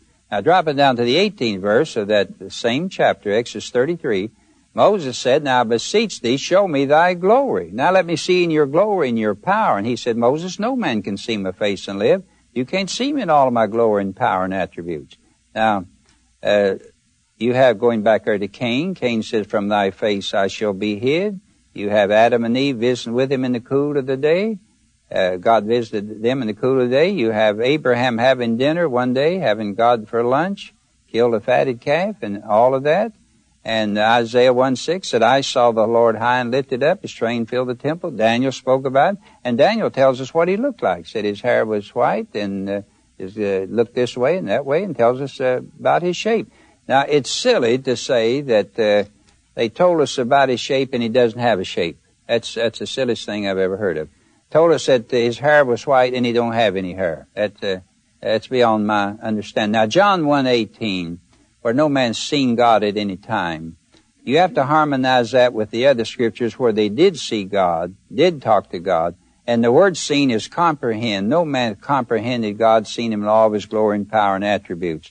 And I like to tell that audience out there, you'll fall short of an understanding of God if you only go to John 4:24 and that's all you know about God, which said God is a spirit and they that worship him must worship him in spirit and truth. You will fall way short of a knowledge of God. And really, if you read it in another translation, God is spiritual and they that worship him must be spiritual, is the thought there. I don't remember if that was our original question or not. I think we started off on the image. But some, but some, excuse me, Jim. Some people take that scripture and try to make it mean that he's a will o' the wisp, just you, Yes. a voice out of a Yeah. out of a out of a cloud or something. But that's you, you put a little different light on it, Jim. Well, Hope, you're talking about God and His glory, and you've mentioned the New Jerusalem, and the gates will be open, and the people will go in all the time to worship Him. Now, is the natural man on the earth going to be able to see God in all of His glory?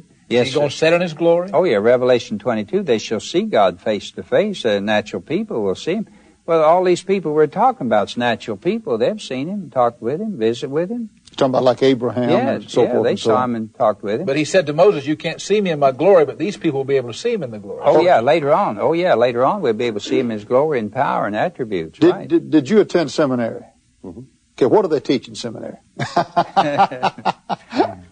They teach that God does not have a form. Has no form or no shape. form or shape. Yes. Just like a- Otherwise, otherwise you'd have God uh, being put in a statue or something that you can worship. And God says, nobody's going to see my face. Otherwise, they're going to put me in a idol and worship me. Okay, what is your rebuttal to that? Just the opposite of that, because uh, Jesus,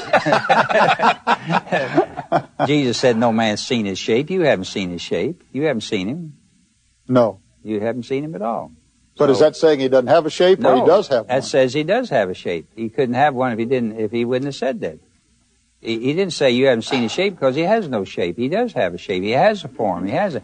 And the, word image. That's what they don't like. They they shy away from that word image. But if you study that word image, the Hebrew tselem, it means shape, form, stature, figure, resemblance. Mm-hmm. We're made in His image after His life. Okay, well, what is the difference, Dr. Sequeira? And we're talking about a body. We all the time think of, of a body just like we have, flesh, blood, bone, but a spirit body. Is there, it, does a spirit body do violence to the scripture? So do you have God with big muscles, his arm of the Lord that raised me up? Do we talk about... Well, that uh, is an anthropomorphic Well, statement. wait, well, what is it? Is it going to be literal or anthropomorphic? Well, we all use, we all use uh, statements of that nature. I You- agree, but I'm saying if you put it all in one, and you got to fit the pattern all the way through if we're going to be consistent. Not really. Well, I Not really. I understand, but I there's, there's some problems with it. Okay. Go ahead, John. I'm Well, listening. he has he has hands, he has a face, he has hair, has eyes, he has all of that. Rides in a chariot. Rides in a chariot, right? Sits down and eats. Ate with Abraham, visit with him, all of that. But a spiritual body don't have to do the things that you and I think of. He doesn't have to eat to keep going, but uh, he did. He did there. He visited. Now, when it comes to Christ, He's the express image of His person. Now, how how would you explain that if you didn't go back to the word image and study the word image and really what it means? Jesus said, "If you've seen me, you've seen what He'd do. I'm the express image of His person." Then the invisible thing. See, we understand the invisible by the visible. In order to understand the invisible, you got to look at the visible. So the invisible That's Romans things. 1, isn't it?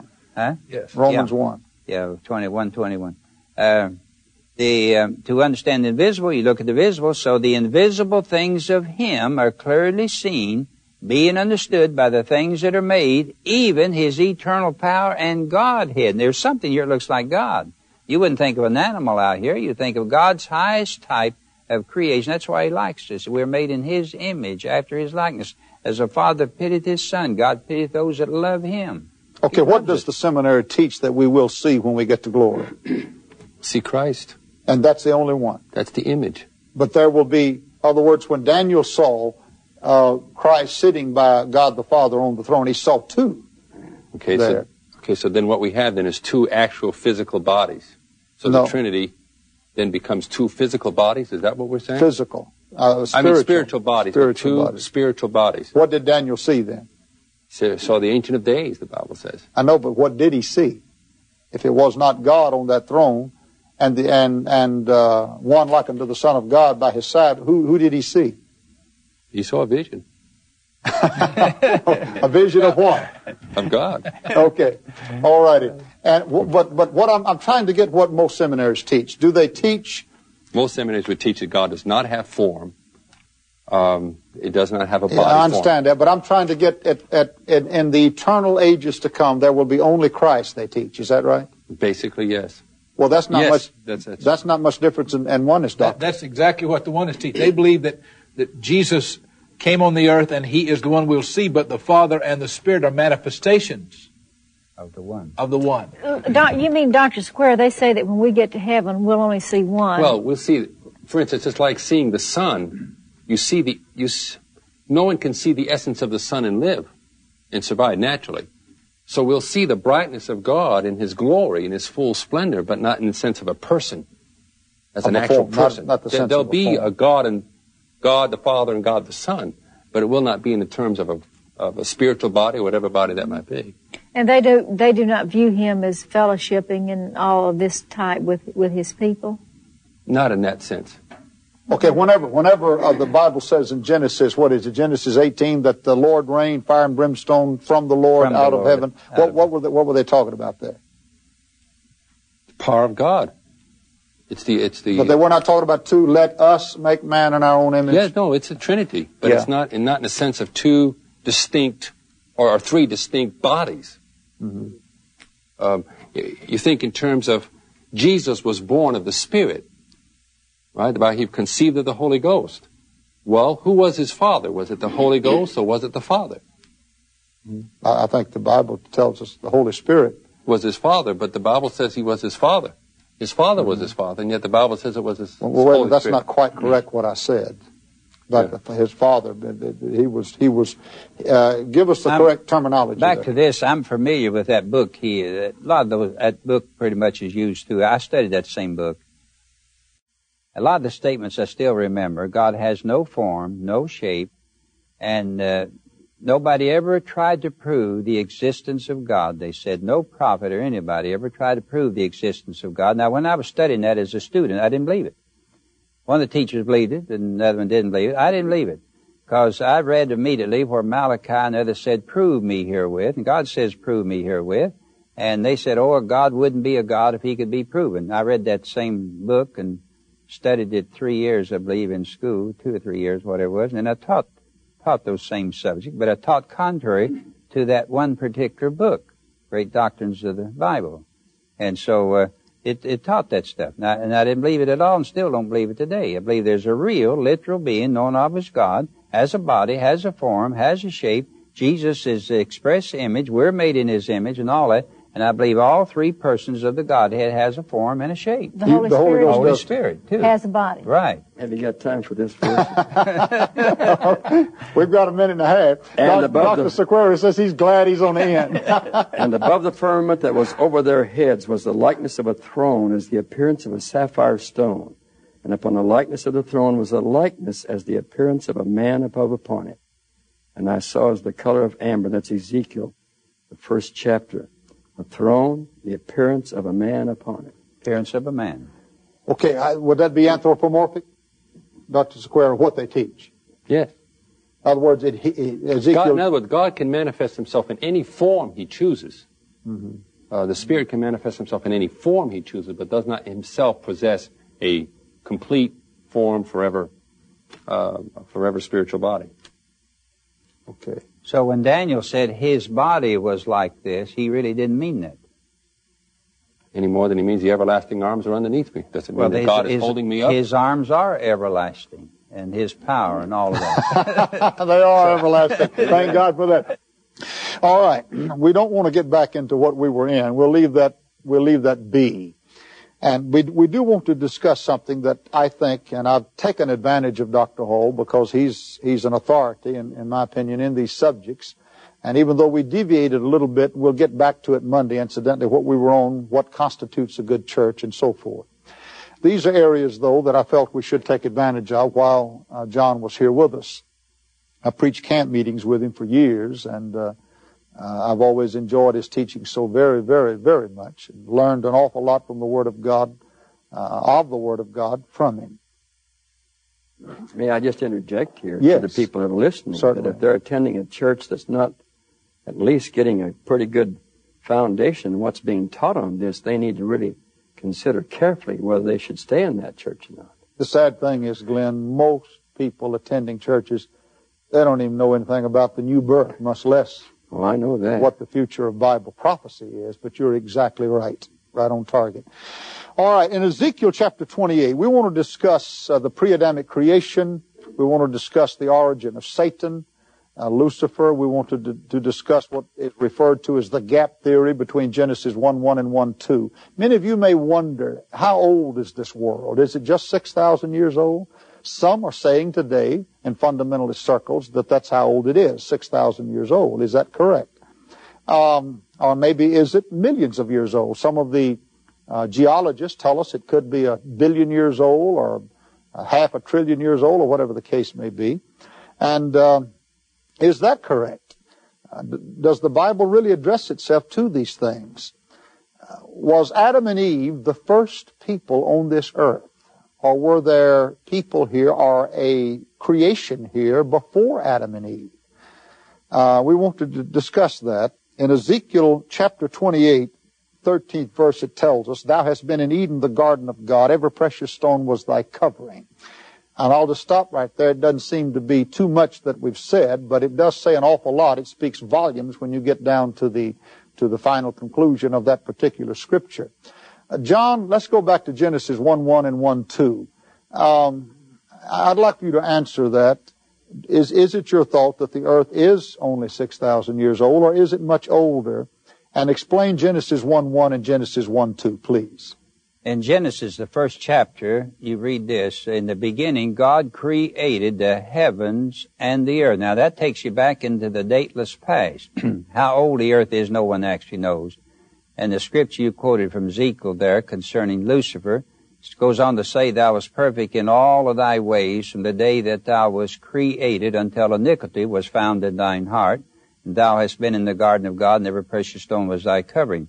Now, Genesis 1 1 goes back to the original perfect earth, and that's the earth that Lucifer one time ruled and reigned in.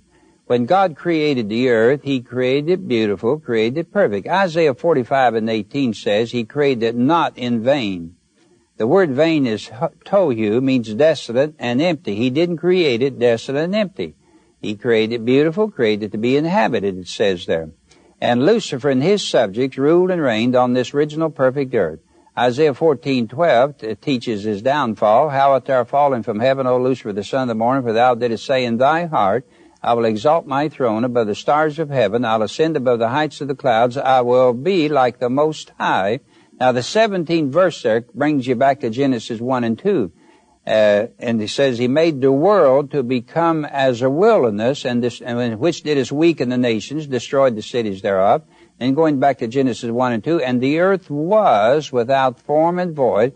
That word was is the Hebrew word H-A-V-A-H, and it means became. The earth became without form and void. The usage of it, uh, God breathed into the nostrils of man, man became a living soul. So when the earth was created, created beautiful, created to be inhabited, Lucifer inhabited back there, led his forces into heaven, met his defeat, cast out, then the earth was cursed, as you have in Genesis 1 and 2, and was without form and void. Now, going back to Adam and Eve, the earth is uh, 6,000 years old, but going back to the original there, it could be into the millions of years old. We don't know. And scientists could be right when they tell us that it's millions of years old. But now, we, we have some fundamentalists today that, that and I, I, get a lot of the reports that are really trying to say that uh, the earth is only 6,000 years old and the dinosaurs and things of this nature were before the flood. Do you subscribe to? No, I don't. You can't, uh, you can't teach the six days saying that's the original perfect earth. That's everything. Because Lucifer had 6, already, years. yeah, 6,000 years. You can't go back and say that because Lucifer had already become a devil when he entered in the garden to tempt the new rulers of this earth. When did the devil have a throne? When did he ascend into heaven? When did he try to overthrow God? It certainly was way before this, because here's where he entered the garden to tempt the new rulers of this planet Earth.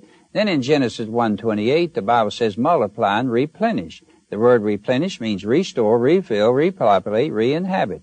And uh, it means to replenish of its own type and origin. In Isaiah 14:17, speaking of Lucifer there, which did is weaken the nations and destroyed the cities thereof. So there were inhabitants on this earth before Adam and Eve. What were they?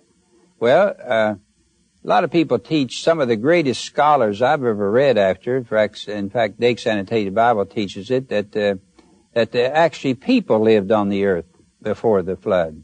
That the word replenish means replenish of its own type and origin.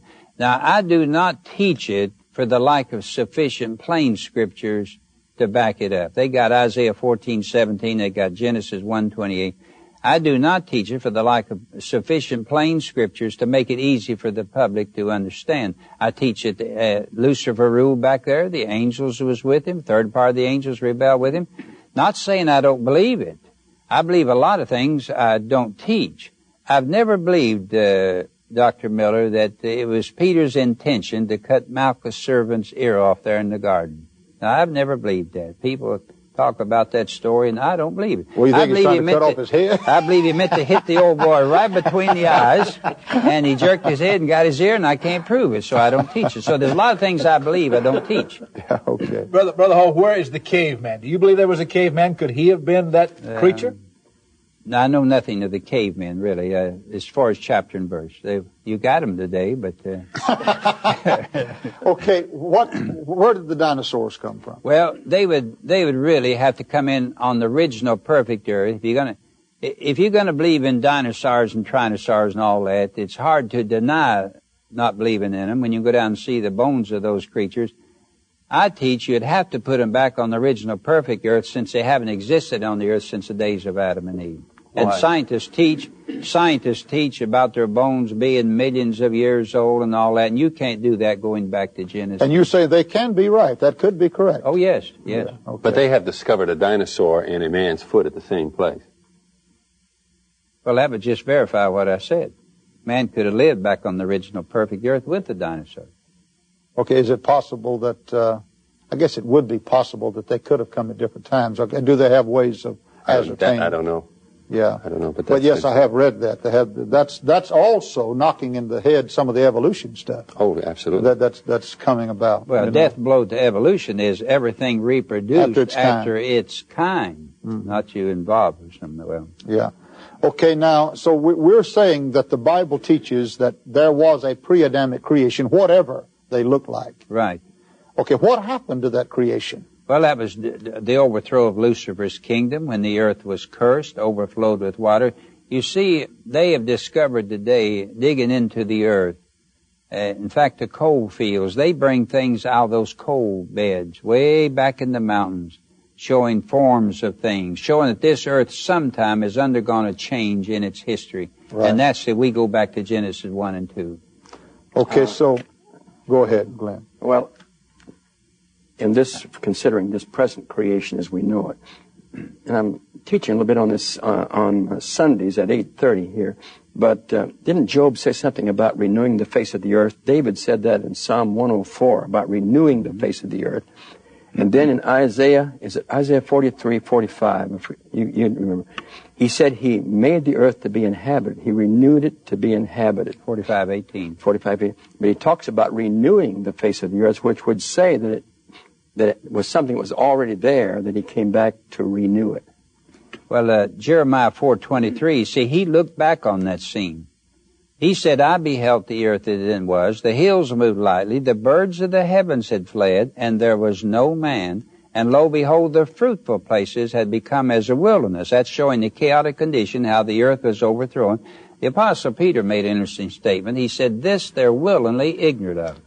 Well, now, isn't that the same passage that's in um, Jeremiah 4:23. also in Genesis? It uses some of the same terminology. Same terminology in Genesis, same thing. Yeah, right. All referring to the overthrow of Lucifer's kingdom there and how it became a chaotic condition. Where it says the earth was without form and void. Right. It's the same terminology. Same terminology referring to the same thing. Then Peter said, This they're willingly ignorant of, that the heavens and the earth which were of old. But that, that would be where Dake got that man. He said, I saw no man. Jeremiah said, I You're saw right, no man. right. Right. This- I assume that's where he. That's where he got. But Yeah. you're saying the earth was destroyed, it was without form and void, and darkness was upon the face of the deep. You're saying the earth was destroyed in that day by a flood. Right. Uh, by a flood, overflowing waters. Now, it's not Lucifer's flood. That's, that's a different flood there. That's a, this is the original flood back there, going back to Genesis 1 and 2, where the earth was cursed and overflowed with darkness and water covered the face of the deep. Then the sixth, and how long it remained in that condition, we don't know. And there's where you have the, the scriptures coming in. Uh, the six days of recreation, restoring the earth back to its beauty. But if if uh, there had never been anything here, and the earth was only six thousand years old, the word plenish would have been used instead of replenish. That's right. That's right. Of course, the, those who argue against that, they say, well, in the Hebrew it means to fill up. It means uh, means uh, sure, it means fill up again because it was full before. Right. Okay. All righty. In that case of the uh, second verse, the earth without form and void, does this, in the 12th chapter of Isaiah, uh, 14th chapter of Isaiah, speaking of Satan, we, we get that reference there, I will five times exalt himself against the throne. Then it says, uh, yet thou shalt be brought down to hell to the sides of the earth. And then he mentions that made the world as a wilderness He, he made it to become as a wilderness due to his rebellion, and destroyed the cities, right? and which did us weaken the nations. It says there, Right, too. it So does. there's nations. Brother Hall, what reference does the rainbow have in Noah's flood when he gave him a sign that he would not destroy it again? Are you feeling that he had a he gave us a sign he would not destroy it again because he destroyed it twice? Or Well, really, it's not the first appearance of the rainbow. Ezekiel 128, the appearance of the bow always in the time of rain. So they had rains before that time. But God took the rainbow there and made a covenant by the rainbow. He, by the already existing rainbow, He made a covenant that He wouldn't destroy the earth anymore with water, but He will with fire. Okay, so what we're saying here is this, that there is a gap, right? Yes. Between Genesis 1-1 and Genesis 1-2. Definitely. Some of the greatest scholars, Brother Swaggart, in the world teach that gap theory, Yes, I, I would, I I know as so. you well know.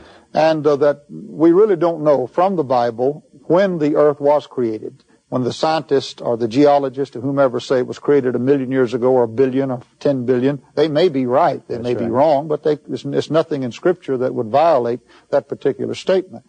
Uh, I, I don't think it's correct when someone says the earth was uh, created 6,000 years ago. I think the evolutionists will beat your head in on that one. I don't think that's right. I think it was created a long time ago, and the prehistoric monsters that we dig up their remains came from the pre-Adamic creation, back there before the earth was destroyed by water. And uh, when it says in Genesis 1, 2, and the earth was without form and void, it became that way as a result of a revolution led by Satan. That's right. Satan once governed this world in righteousness and holiness and purity under God and uh, governed a creation. He wouldn't just govern nothing, would he? Wouldn't, right. wouldn't be any point to it. So he governed something. So there was something here that he governed. And uh, he led a revolution against God. When it was, no one knows, eons of ages ago. He steals, kills, destroys. This is when evil came into the to the system, into uh, this this earth, and into the angelic host as well. And uh, if you want to know what sin will do, all you have to do is look at Genesis 1 2. The earth was without form That's and right. void. That's what sin will do to a life, a heart, a dream, a marriage, a home, a nation, or anything else. It will destroy it completely, totally. And so Satan was once Lucifer, the mighty angel under God, created by God, who sealed up the sum, full of wisdom and beauty, and maybe the highest. I'll ask you to answer this. Do you think that Satan, then Lucifer, was, before the fall, the mightiest angel ever created by God? Mightier than maybe Michael or Gabriel? Well, he was the outstanding leader, Brother Swaggart, and uh, his wisdom was corrupted there after he fell. And uh, I would say he was the leader. He was the he was the mighty Well, the. Bible said, is in Jude that Michael does not bring against him a railing accusation? Right, right. And it, it, would that be because that that Lucifer outranked him, even though one was on one side and one the other? Possibly so. At least equal rank. Do- at, least, least equal. equal rank. At Yes, least- least good thought. equal, yes. Good thought. Good thought. At least equal rank. Uh, but it uses the, the the statement in Ezekiel 28 that he sealed up the sum, meaning that that uh, there was nothing else could be done to make him more beautiful and powerful. Is that the meaning of that passage? yeah, he's a, he was a beautiful being. The devil was a beautiful being, and through thy beauty, thine heart was lifted up. Uh, people think they're going to see the devil with horns and a pitchfork and long tail when uh, the Bible don't give that description of him. That's on that little devil ham stuff and other stuff. and so, so don't go for that uh, being the exact picture of Satan because he's a, he was a beautiful being. Glen. Uh, people are often asking, where does sin come from? It goes past the garden, doesn't it? It goes Yes. on back to Yes. Satan. Yes. And it goes back to the will of a person or Of a being. cre- of a cre- of a That's where creature. sin is originated, in the rebellious will against God. It's the basic sin in it. Yes, yes, yes. All right, I want to close this program today. It's, it's, this is, some of you will have never heard of this, and some of you will have heard of it. And boy, this is where sides are drawn rapidly. it's this. It's found in Genesis 6, chapter 1, verse 1. And it came to pass when men began to multiply on the face of the earth, and daughters were born unto them, that the sons of God saw the daughters of men that they were fair, and they took them wives of all which they chose. And the Lord said, My spirit shall not always strive with man, for that he also is flesh, yet his days shall be 120 years. And there were giants, fourth verse, in the earth in those days, and also after that, when the sons of God came in unto the daughters of men, and they bare children to them, the same became mighty men which were of old men of renown, etc., etc., etc. You can read it for yourself there. All right, there are maybe many teachings on this particular subject, but two that I'm uh, very well acquainted with. And one is that these were the two lines, the line of what? Line of Cain and line of Seth. Seth. And that the daughters of Seth, uh, Cain married the daughters of Seth, which were godly and produced some type of race of giants. The other teaching is that corrupted angels, we, we've been talking about Lucifer's fall and how that one third of the angels threw in their lot with him. Isn't that correct? Yes. Sided with him in the revolution that he led against God in the eons of ages of the past that resulted in this earth being without form and void and uh, so forth and so on.